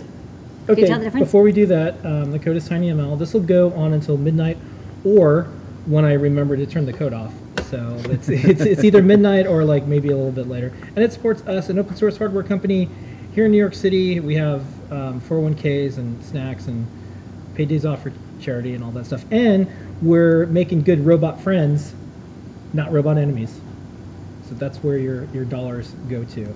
Um, you ready? Yep. All right, let's uh, let's do this. New, new, new, new, new, new, new, new, new, new, new, new, new, new, new, new. It's new products time. Okay, Okay. first up. First up, we have an updated product. So it's updated enough. I put it in the new product video. Um, we've had these battery packs for a while. They're great for powering your single board Linux computers. You can recharge them. They provide a good 2 amp output, which is needed for Raspberry Pi computers and such. Um, and uh, you can charge them up. And this one has been updated to now be 5,000 milliamp hours instead of 4,000. Also has this handy button on the side that when you press it, it'll uh, light up the four LEDs to tell you the battery life. So Do you want me to go to the overhead for that? yeah, I can just show it off real fast, but um, yeah, so it's got this thing. You can see it's now three quarters of the way charged. You charge it over micro USB. You have USB 2 amp out. And I think if you hold the button down, this turns into a flashlight. Yeah, you can, I don't Right. know. Not so useful, but uh, it's really great for powering um, Linux computers. Not great for microcontrollers because if you have a low enough draw, it'll automatically turn off. So much better for high draw devices. Okay. What's next? Next up, we have another updated product, but again, it's fairly updated-ish enough that I wanted to point it out. Um, there's 1.5 inch TFT displays. Is a, this is not a composite image. That's actually a photo Wow. of what the TFT looks like, which is pretty good for a low-cost TFT display. Um, showing Adabot, and we'll have that demo running. And I've got it just running on a Metro. over? Yeah. Let me see. I think it goes this way around. Uh, so we've updated this to be. Uh, it's still 1.54 inch. It's still 240 by 240 IPS display. So it looks great, and it has great angle visibility as well. Um, we added a TE pin, so a lot of people wanted the tear enable output. Um, there is now a pin you can access for the TE output. Uh, it's the same chipset and size as before. Um, however, the, the screen, we did have to move the holes a little bit um, to make room for this slightly different size screen. So the physical shape has changed, uh, but the code is identical. So you can use this wherever you'd like with your ST7789, works with our GFX library and in CircuitPython as well. Okay. Next up, we have AdaBoxes in stock. Uh, we just, a few months ago, shipped our AdaBox uh, 12, which was PyGamer, um, which is an all-in-one gaming platform you can use with MakeCode Arcade. You can also write code in Arduino. We have an NES emulator that we ported. You can see here. Um, you Also runs all our machine learning demos. Which runs, Yes. runs our machine learning this- demo. well, we wanted to make sure like it, there's a game device that can do because like that's a natural interface for so many people. So yeah. People know it's like, oh, a joystick and two buttons. yeah, they know they, know what they it know means. right away what to do with it. Um, and so this uh, this AdaBox was chock full of goodies that would let you take advantage of this cool gaming platform that we designed. Um, includes a, a, a grid of gridded paper notebook that um, is wire bound and some markers. You can uh, draw out your sprites and, um, for all the pixel art you're going to do. Uh, a case, a storage kit, button, uh, battery, and speaker, so you can put together your PyGamer. And um, we have always some left over after the initial run. Um, and so we have some in stock if you would like to pick up an AdaBox uh, because you really liked it or because you didn't get to have one.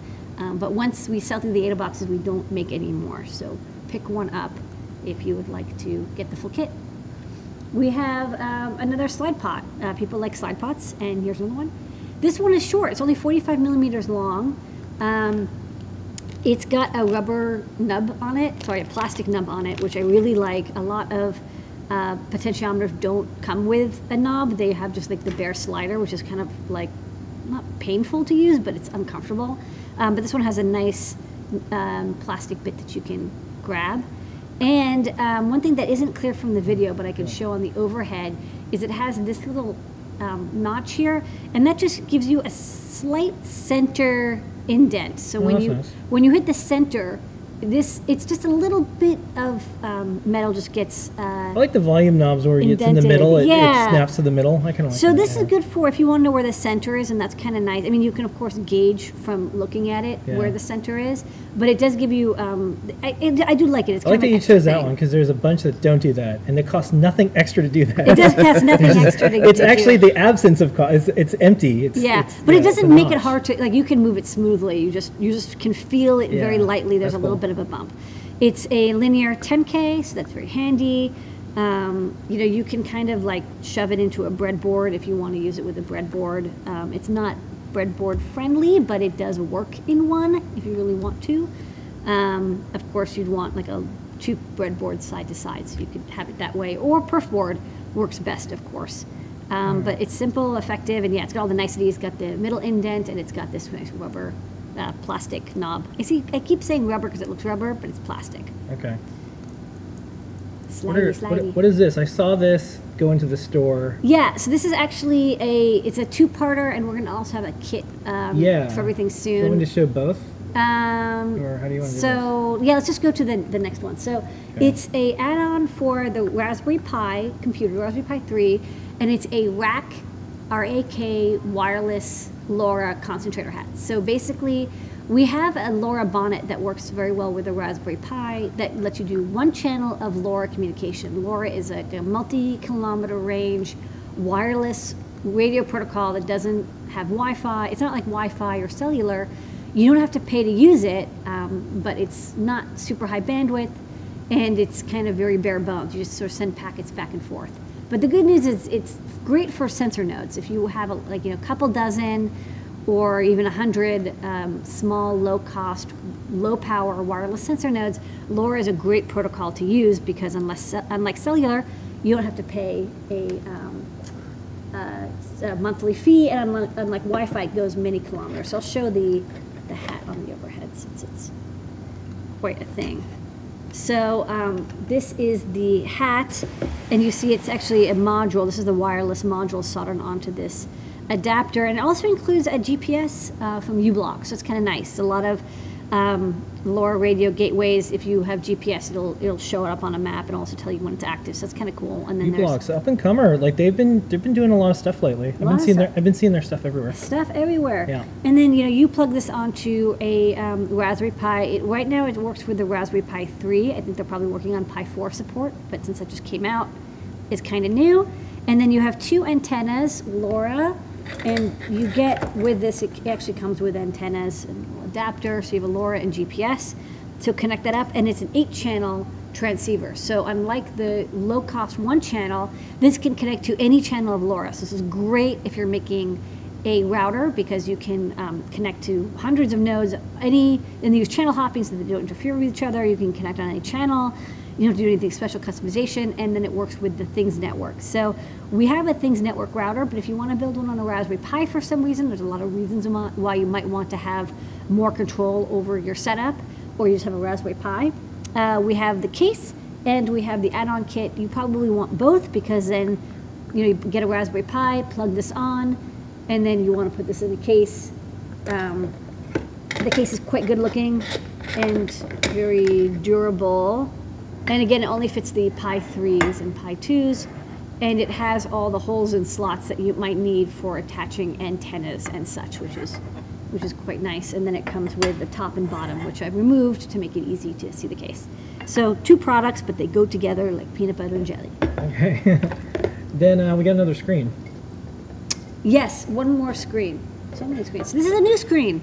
So if you like that 1.54 inch screen and you're like, but what if I wanted a smaller one? This is a 1.3 inch 240 by 240 display, also IPS. It's so tiny. And um, I love the screen. You know what's funny? There, you can get these screens online from like eBay and stuff, but um, they actually are like set up wrong on most breakouts. Um, whereas we've kind of done breakouts a lot, so we know how to set it up. So not only is it level shifted, but you get, um, oops, am I off by one? Oh, no, I have the SD card missing. That's why it's, it's like, where's the SD card? Hold on, I gotta make sure I don't pull the SD card out and have it fly over. So when there's no SD card, you get you get static. Well, it's like- it's like TV static, but Yeah. not it's not TV static. Well, hopefully, hopefully. hopefully this works. You know, there's a whole generation of people that'll never see TV static. No, they Yeah. have fake static. You know, they, Yeah. they it's like a loop. Okay, so if you have the screen on, so yeah, it's playing the same um, beautiful images that we had on the 1.54 inch display, but now it's a teeny cute little display. Yeah, that's so it's so small, very high resolution, um, but uh, looks great. This is used in smartwatches a lot. And again, it's set up nicely and correctly so you can use proper SPI. And then um, we didn't have enough space for the TE pin here. But again, if you are one of those people who's like, I want TE pin, uh, it's broken out there. And then we have SD card slots on this and this, so you can easily access your data. And um, you have a nice connector and level shifting, so you can use this with 3 volt or 5 volt logic, however you wish. So, same chip, same resolution, different sizes. Big sister, little sister, hi! We're friends. And the star of the show tonight, besides our community, Pete, and more, is Gizmo. That's right. Gizmo, it's our It- first Gizmo. Yeah.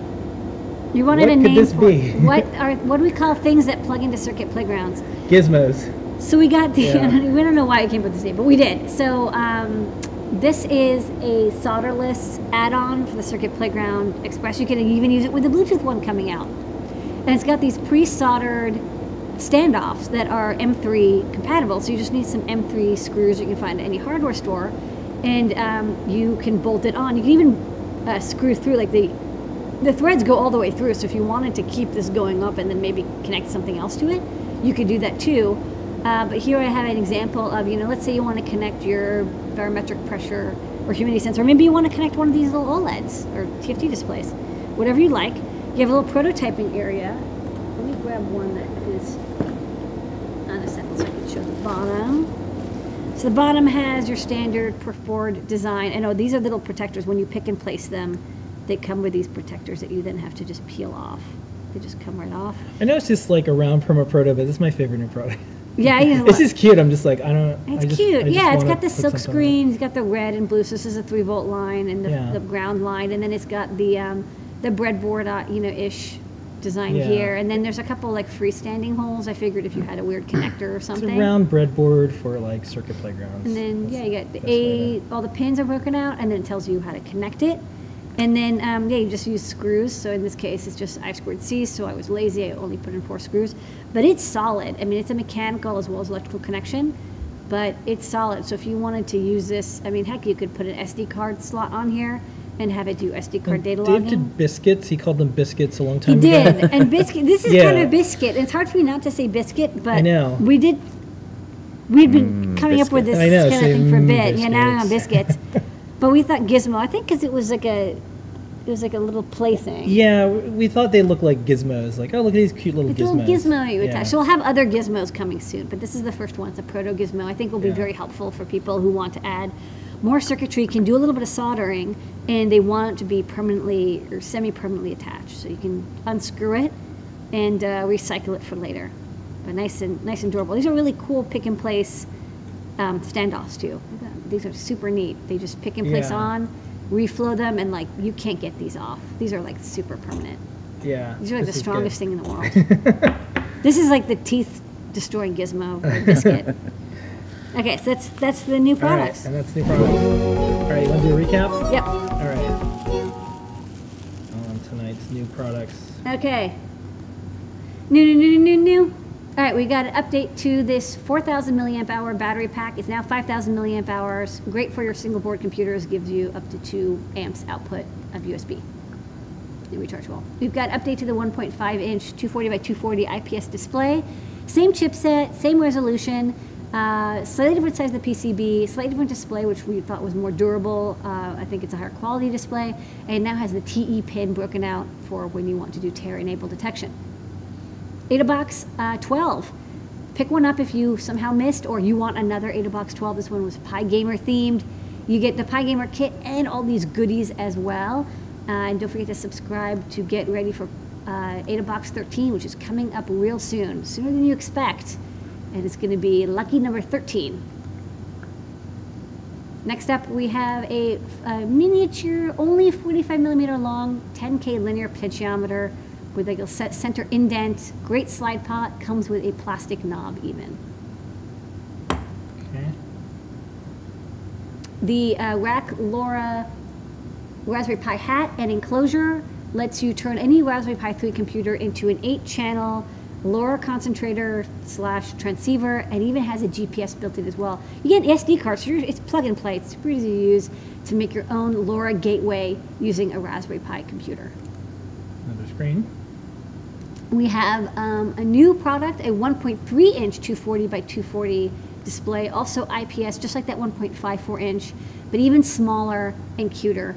Um, also the ST7789, lovely little display. Uh, these displays are used in smartwatches, and finally they're coming out with proper SPI uh, interfaces, not just MIPI, so that's cool. And we've got the first of many gizmos, the Proto Gizmo, which bolts onto the back of a Circuit Playground Express and lets you add a perma-proto prototyping area. So great if you want to add other circuitry that doesn't come on the Circuit Playground Express, maybe displays, sensors, actuators, whatever you like. Uh, you can solder to the back and then bolt it on. No soldering is required to attach it, so it's a semi-permanent um, connection, but of course you solder to the perma-proto regular. That was me. All right. So here's what we're gonna do. At the very end of the show, I'm gonna I'll show two last videos while Yeah. we're packing up. Yeah. But what we'll continue to do is top secret. Ah. So we have top secret. Here we go. Because we have a, this top secret is gonna be uh, it's gonna be neat. We're gonna show a couple things that we're working on, and then I'm gonna ask Pete and Limor to come up with what they what's the dream machine learning board. Um, so top secret this week. Uh, we're working on these. What are these located? These are little Qwiic compatible boards that add crypto security chips to your microcontroller wireless You device. can tell because there's a lock on it. There's a lock. That means it's Yeah. secure, guys. So, So the ATEC yeah. C608 and also the Trust M-X, there's two series from Infineon. There's a lot of companies coming out with uh, secure element chips, which is really good news because it means people are finally learning the lesson of don't pretend like your microcontroller is secure. It's not. So just put all your stuff here and then at least you have someone to sue when it gets cracked. Yeah, and we'll have a whole big guide because there's Grove, there's Qwiic, there's Stemma and Stemma QT. We made something that's compatible with all of them, Stemma. So we'll have a whole like here's what works with what. Um, but these are just some of them. And then uh, you're also working on a Stemma OLED. Yep, I've got. Uh, I'm going to try to design like one a week. So uh, I wanted to update our classic 128 by 32 monochrome OLED. And since I was redesigning it, um, I was, you know, I wanted to clean up the schematic a little bit, add an auto reset circuit because that comes up a lot. And then again, I, I threw on this Qwiic compatible connector and uh, indicator LED on the back. So I think we'll revise that OLED display and make it even better. And now it's plug and play. Okay. And the next part of Top Secret, I'm excited about this. So this is the name of our machine learning board. It's, it's going to be called Braincraft. Braincraft. because it's craft and it's like it's brains and like so we're like okay. So here here's the idea. It's better than the yes no machine. Yeah, yeah. we're inside of this machine yeah, learning now brain. we're inside so the brain. Yeah, here we are. Here, look at us. Um, so this might be the shape of the board, but um, Limor, you have a piece of paper here. Yeah. So um, This is where I write the. so, so Pete, you, you wait. You can wave a magic wand, and there's this this MIT engineer sitting here. Yes. What do So you? I'm wearing an MIT what, shirt, What do you want? What It's do a light shirt What do you want on a machine learning board? What, for what- what do you- microcontrollers. So loads of sensors. Lots, loads of loads of sensors. sensors. Loads Oh, wait, hold on. I'm taking this so down. loads of Loads sensors. Could they be connected via little, you know, these these type of cables? Like you just Which- put whatever which- ones you want. Yeah. Could they be pl- or should they be attached? And which ones are the most important? You think? So um, I think having image sensors Image sensors. So, like a, really useful. so that's like a camera. Yeah, like a camera, Okay. but like yeah, a so Panasonic grid eye. We It could call be those like- cameras. It could, Yes. be, it could be a heat sensitive camera. Yeah, well, that's Okay. that's what I'm thinking. And camera, Okay. and you know, one of the reasons we talk about image sensors is because, hey, yeah, you think about them as cameras, but then you think about, oh, I'm taking photos. Whereas actually, if you've got machine learning, you can turn that image sensor into a, hey, is there a person in front of me sensor? Yes. Yeah. So it sort okay. of becomes. It's this, true. It is a camera as an image, and I'm not saying you're wrong. I just think. Yeah, It's, no, no, It's it's, it's funny. It's the way, Okay. the way my Okay, what are brain the is sensors? thinking All right. What else? You, what other sensors? Um, so want? microphones, Microphone. obviously, because Yes. we've seen. do you need two or is one okay? no, one's perfectly One's fine. fine. Microphone. Yes. I'm gonna cross out that S. Yes. Okay. Okay. Uh, accelerometers. Accelerometer. So That's one of the videos we're going to show at the end. We have a we found a Oh, really good low cost accelerometer. Oh, that's awesome. Yeah. Yeah. Yeah. Okay, what 'cause, Um, so what have you got? Oh, what have you got in What, what would you do? What would you do with an accelerometer? Why is that Um, so actually, um, there's all sorts of things. So one of the things that's really cool is yeah, gestures. Okay. Um, also, if you've got like a piece of machinery that's like shaking itself to bits, Yeah. Yeah. you can actually use machine learning to do like predictive maintenance. Yeah. And spot when things are starting to go wrong, Yeah. like when a bearing is starting Yeah. to. One of the best you know, machine learning loose. projects I saw was someone modified their power saw. So right before it kicked back, Yeah. it would turn the blade off. And the ah. way they did that was to use it over and over and over, to, and that was the training until it Yeah. kicked back over and over. So it was speed and it was the tilt. And so what ah. happened was eventually they're like, you know what? When I when I, now when I use it, it'll cut it. It'll turn itself off before it kicks back. Yeah. It was like that's exact, and, and it was just like, why aren't the tool companies doing it? They're just they're not they're not doing electronics and machine learning. Yeah. So okay, Okay, so and that, I really one of the things I actually really want to do with microphones is detect screens, screams. so that you could actually just power off oh that's any a good idea. machinery. any It's- machinery just yeah. screaming. Yes. Yeah, good for pranks, but also good for safety. Yeah. like someone just screams and just like the thing turns off. scream that you want? Okay, Yeah. okay. So there's there's inputs. The inputs are image sensor, camera, microphone, sonar. So what about outputs? What kind of outputs so, would you like? uh, s- screen and microphone. Oh, sorry, screen and speakers. Um, Screen. okay, so you want screen. So like one Okay. of these screens that we just showed, maybe. yeah, that What? would Do be you know how awesome. big or like is it? I don't know. No, I'm No, not you have no idea. Question mark. Yeah. Alright. Do you need like a touch screen on it, or do you want it just to be a? Dis- I mean that I'm on the machine learning side. Uh, I really see the screen as more just um, like giving feedback. Feedback, So, okay, so yeah. like Kind of like uh, the badge project we did, where it's like you get to see what it's telling you what's going on, yeah. or like if things don't work out. okay. yeah. So it. screen. What else? Uh, Outputs. So speaker, Speaker. you want it to be able to chat back to you Okay. if you Got chat to it. Hello. Goodbye. Yes. No. Okay.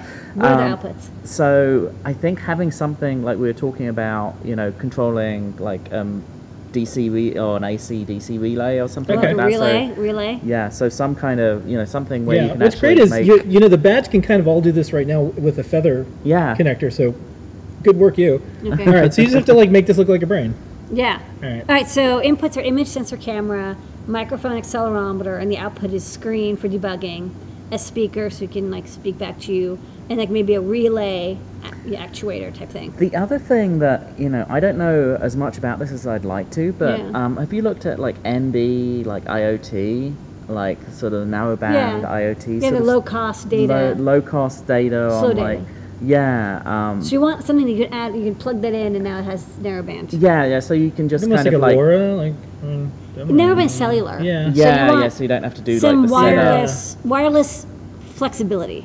Yeah, exactly. So you, can, so you can put these up in the world, and they can like, you know, oh, I saw a person on the. But keep it yeah. in the low power world. Like it has Yeah. to be. It can Yeah. sleep and wake up. It's like 3G, Yeah. probably not, but Yeah. narrowband Yeah. IoT, which is making its way across the country. Yeah. Okay. All All right. right. What else you want? What else? We're probably gonna do this. So you go. Oh, We're in the uh, brain. yeah, we, we, we can't get out of this brain until we have all can't the, leave this brain. until the feature set is finished. yeah. I mean, there's uh, part of it is, I guess, what we're thinking about for the power budget, yeah. because obviously, like, So you know, battery once you power. get into screen, yeah, because I. You know, one of my big things is I want these to be out in like, you know, in fields, like helping farmers kind of tell when pests are there so they can Yeah. like, you know, reduce the amount of pesticides they use and like, you know, Yeah, anything yeah. we can do. So anything we can do around like energy harvesting, like being able to have like a, a So like solar, add-on. Yeah. Solar add-on. Yeah. Battery power, maybe Yeah. solar capability. The Yeah. Moore made a really good solar charger, and I, I feel like that might be a way that we can know Yeah. like whatever type of garbage power we're getting in. Like who Yeah. cares? It just kind of can like it's just like okay whatever I got it. Like Yeah. Yeah. so something that's that's okay with taking in not such great power. Yeah. Like sometimes it's solar, sometimes it's on the grid. Okay. Okay. I think that's enough to get started with. Yeah. Oh. Would that be a good word? Okay, All right, don't let me out of this is- brain. I- Okay. Okay, and braincraft, brain. I think, I think we're gonna go with that because I think there's too many words that have machine learning, Yeah. and tensor in it, and like Yeah, no, no. too many people are don't- calling. So this is it. Yeah. I worked for a company a long time ago called Braincraft, and and now I have the domain name and the trademark. So I'm And now you're always wondering what we're going to do with it. I was like, I was, I thought it was gonna be for like crafting, but then like fi- when machine learning stuff came along, I'm like, one day we're gonna have a Braincraft. well, it word. makes sense because you craft models. You're crafting Right? little It's like brains. model making. Yeah. Yeah. So okay. right.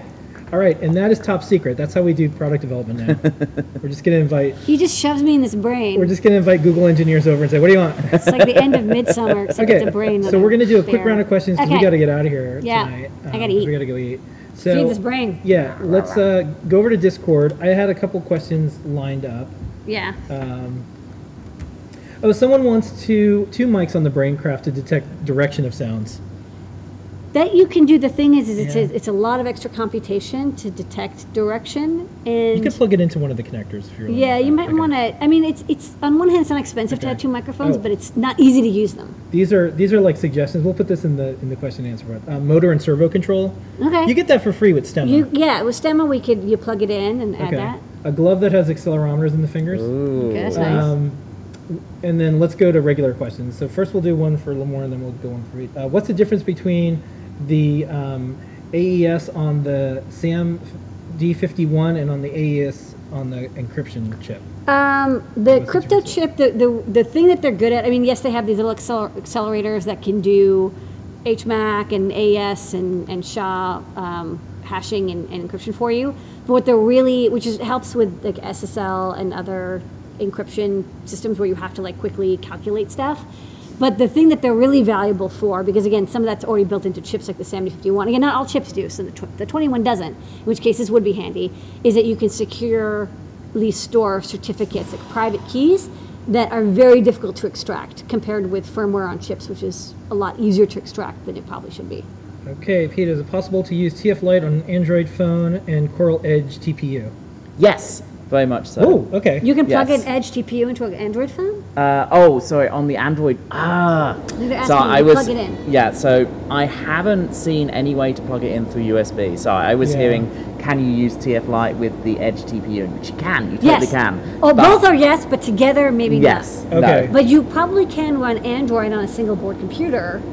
I bet. And I bet it. I bet it's possible. I haven't tried to do that there. I've only ever tried to use it through like Linux on like a Raspberry Yeah. Pi. So Yeah, I mean, like Android, people run Android on Raspberry Pis. It is possible. Yes. It's kind of weird, but it's like, no, Yeah. you can run Android. Okay. So that might be a way to do it. So multiple Stemma connectors were um, asked about, Okay. um, suggesting feather compatibility for the Braincraft board, Yeah. so you can do all that stuff. Okay.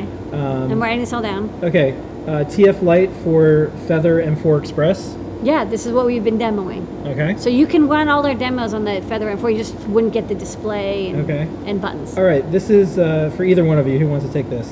What do you think about the RISC V open source instruction set? Should we jump on to the into the adventure and get excited, or wait as we continue to grow up? Uh, will all this new chip that has come out, like the SiFive Freedom, uh, Unleashed MCU, or the Kendryte, this we've been looking at, uh, K210 SoC, uh, which is targeted to AI and machine learning. It's very tempting, but at the same time, so recent. So yeah, What it's? SiFive and the Kendryte. And the Uh, Kendryte's you- AI, it's AI Yeah. accelerated. And Yeah. I, I would actually also call out if you look, there's a small company called Greenwaves, yeah. and they have Greenwaves, um, okay. they're based. They're a startup based out in France, and they have a RISC V um, AI chip that actually has like five RISC V cores, and they're focused Mm. on running um, like machine learning uh, workloads. So we we've worked pretty closely with them. Got it. We're pretty excited by what's happening so in you, the do you think world. do you think that's uh, you know good and exciting? Like, do you think for people who are interested in machine learning, are the benefits that you get from the speed ups with the like the Kendryte? Is it worth Uh, looking at, or is it is the I, arms I good haven't enough? I haven't played with the Kendryte um, enough. I mean, right now, um, like the ARM devices are um, the ones that have the support, and you know, it's it's definitely if you're looking at getting started, I would go for an ARM device. Yeah. You're going to have a much Like a Raspberry better Pi. experience. Lots of tutorials. Start off with a Raspberry Pi, and then start to look at something like an M4 if you want to kind of go down into the microcontroller world Yeah.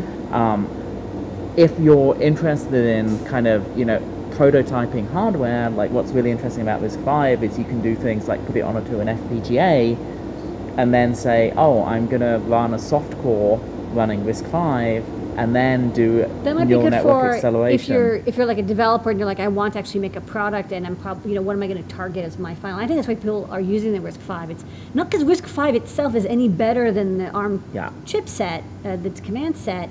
It's just so easy to load that into an FPGA and then Yeah. you plug in you know one of these neural net assistive uh, cores that can do the calculations for you so fast because they're just optimized and you can just fuse them together much much faster than if you were going through the ARM uh, core um, licensing process, which is going to be, of course, a lot longer than an open source process. Okay, I'm going to combine the last three things all into one. Um, another suggestion: water-resistant outdoor cases for Braincraft, Okay. and then um, Outdoor brain. Yep, and then someone wants um, a small matrix IR sensor like Grid Eye on it. Okay, so we just plug it in, that. yeah. And then the last one was a question, um, which the answer is all of this. What's the hardest part of introducing or producing custom products? The feature set, like you, You, know. have to what to say yes and no Yeah, to. and- and I if only had a device that would say yes and no. Yes. Yeah. Should I include this? Yes. and, and I'll say when things work out really well, you can do things. So the Feather format worked out really well for us, and it allowed us to do machine learning on a board that we didn't sit around and, and start saying this is going to be a machine learning board. It just happens to be a really good one.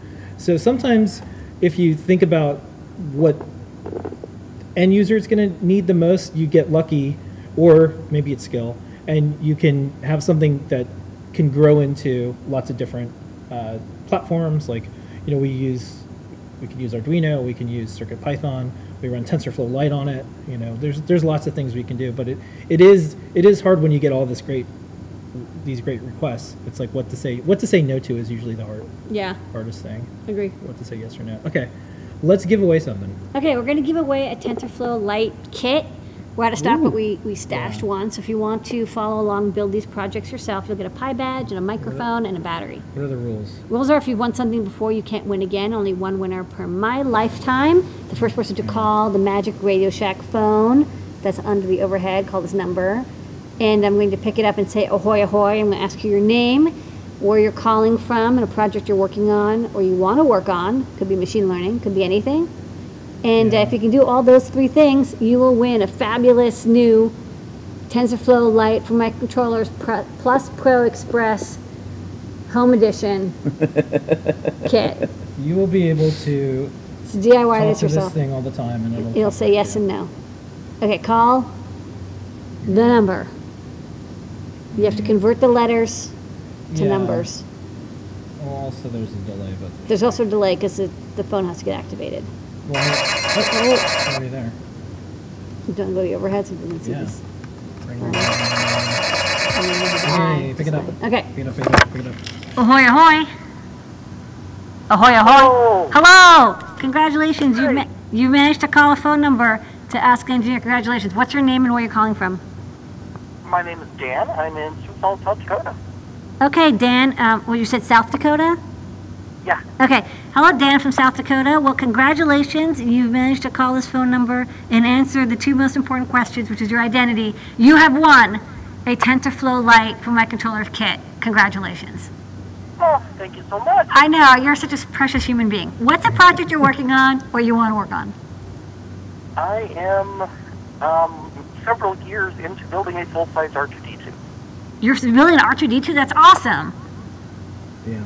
Well, you know what could be really good in it? You could put a, a Raspberry Pi with like speech recognition and then it could it could recognize words and it could like beep boop back at you. That would be cool. That's part of the plan. That's part of the plan? Okay, awesome. So this Awesome. is a machine learning uh, project. Okay, so it's, we're in the theme.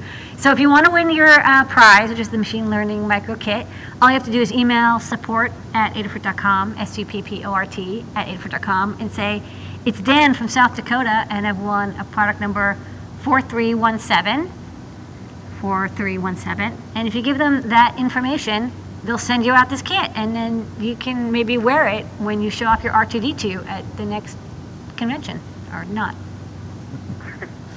That sounds great. Thank you so much. Okay, well, thank you so much for calling. Have a wonderful night, Dan.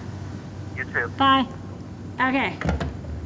All right. Well, that's our show. Stick with us. We're giving you giveaway free stuff. All right. Well, thank you so much, Pete, for coming by. No, thank you had- for having hope me. you had Okay. fun. Yeah, this is awesome. Thanks for helping us design the next product. that was super fun. Yeah. Thanks for building it. Yeah.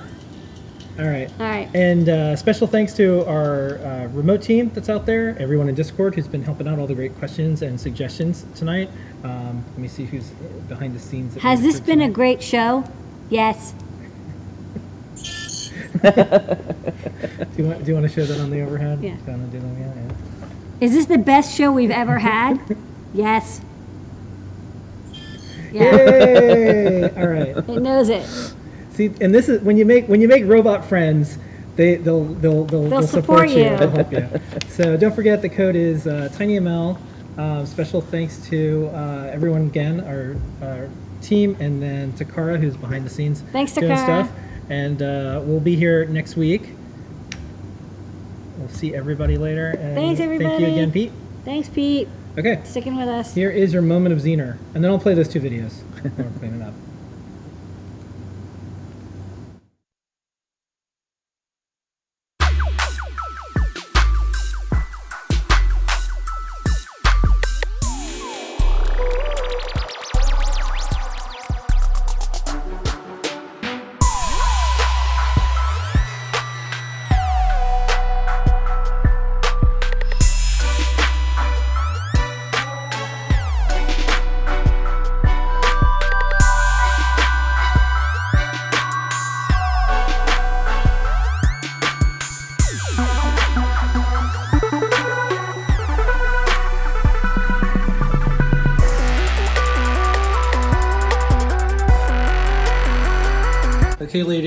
Cool thing? This is a new skull. This is the Halloween M4. So last year we did the Halloween M0, but why stop there? More skulls, more Circuit Python. This version has a 240 by 240 IPS display, so you can see the really high quality res, text. yeah. Yeah, it's great. And of course, it's running Circuit Python with displayio. It's got four side light LEDs, so you can see these Yeah. NeoPixels here. But other than that, it's pretty much the same. It's got an M4, 8 megabytes of flash, the same speaker and stemma connections, capacitive touchpads, battery power, and uh, we'll have some eyeball code for it. So this is the Halloween M4 coming Cool. soon.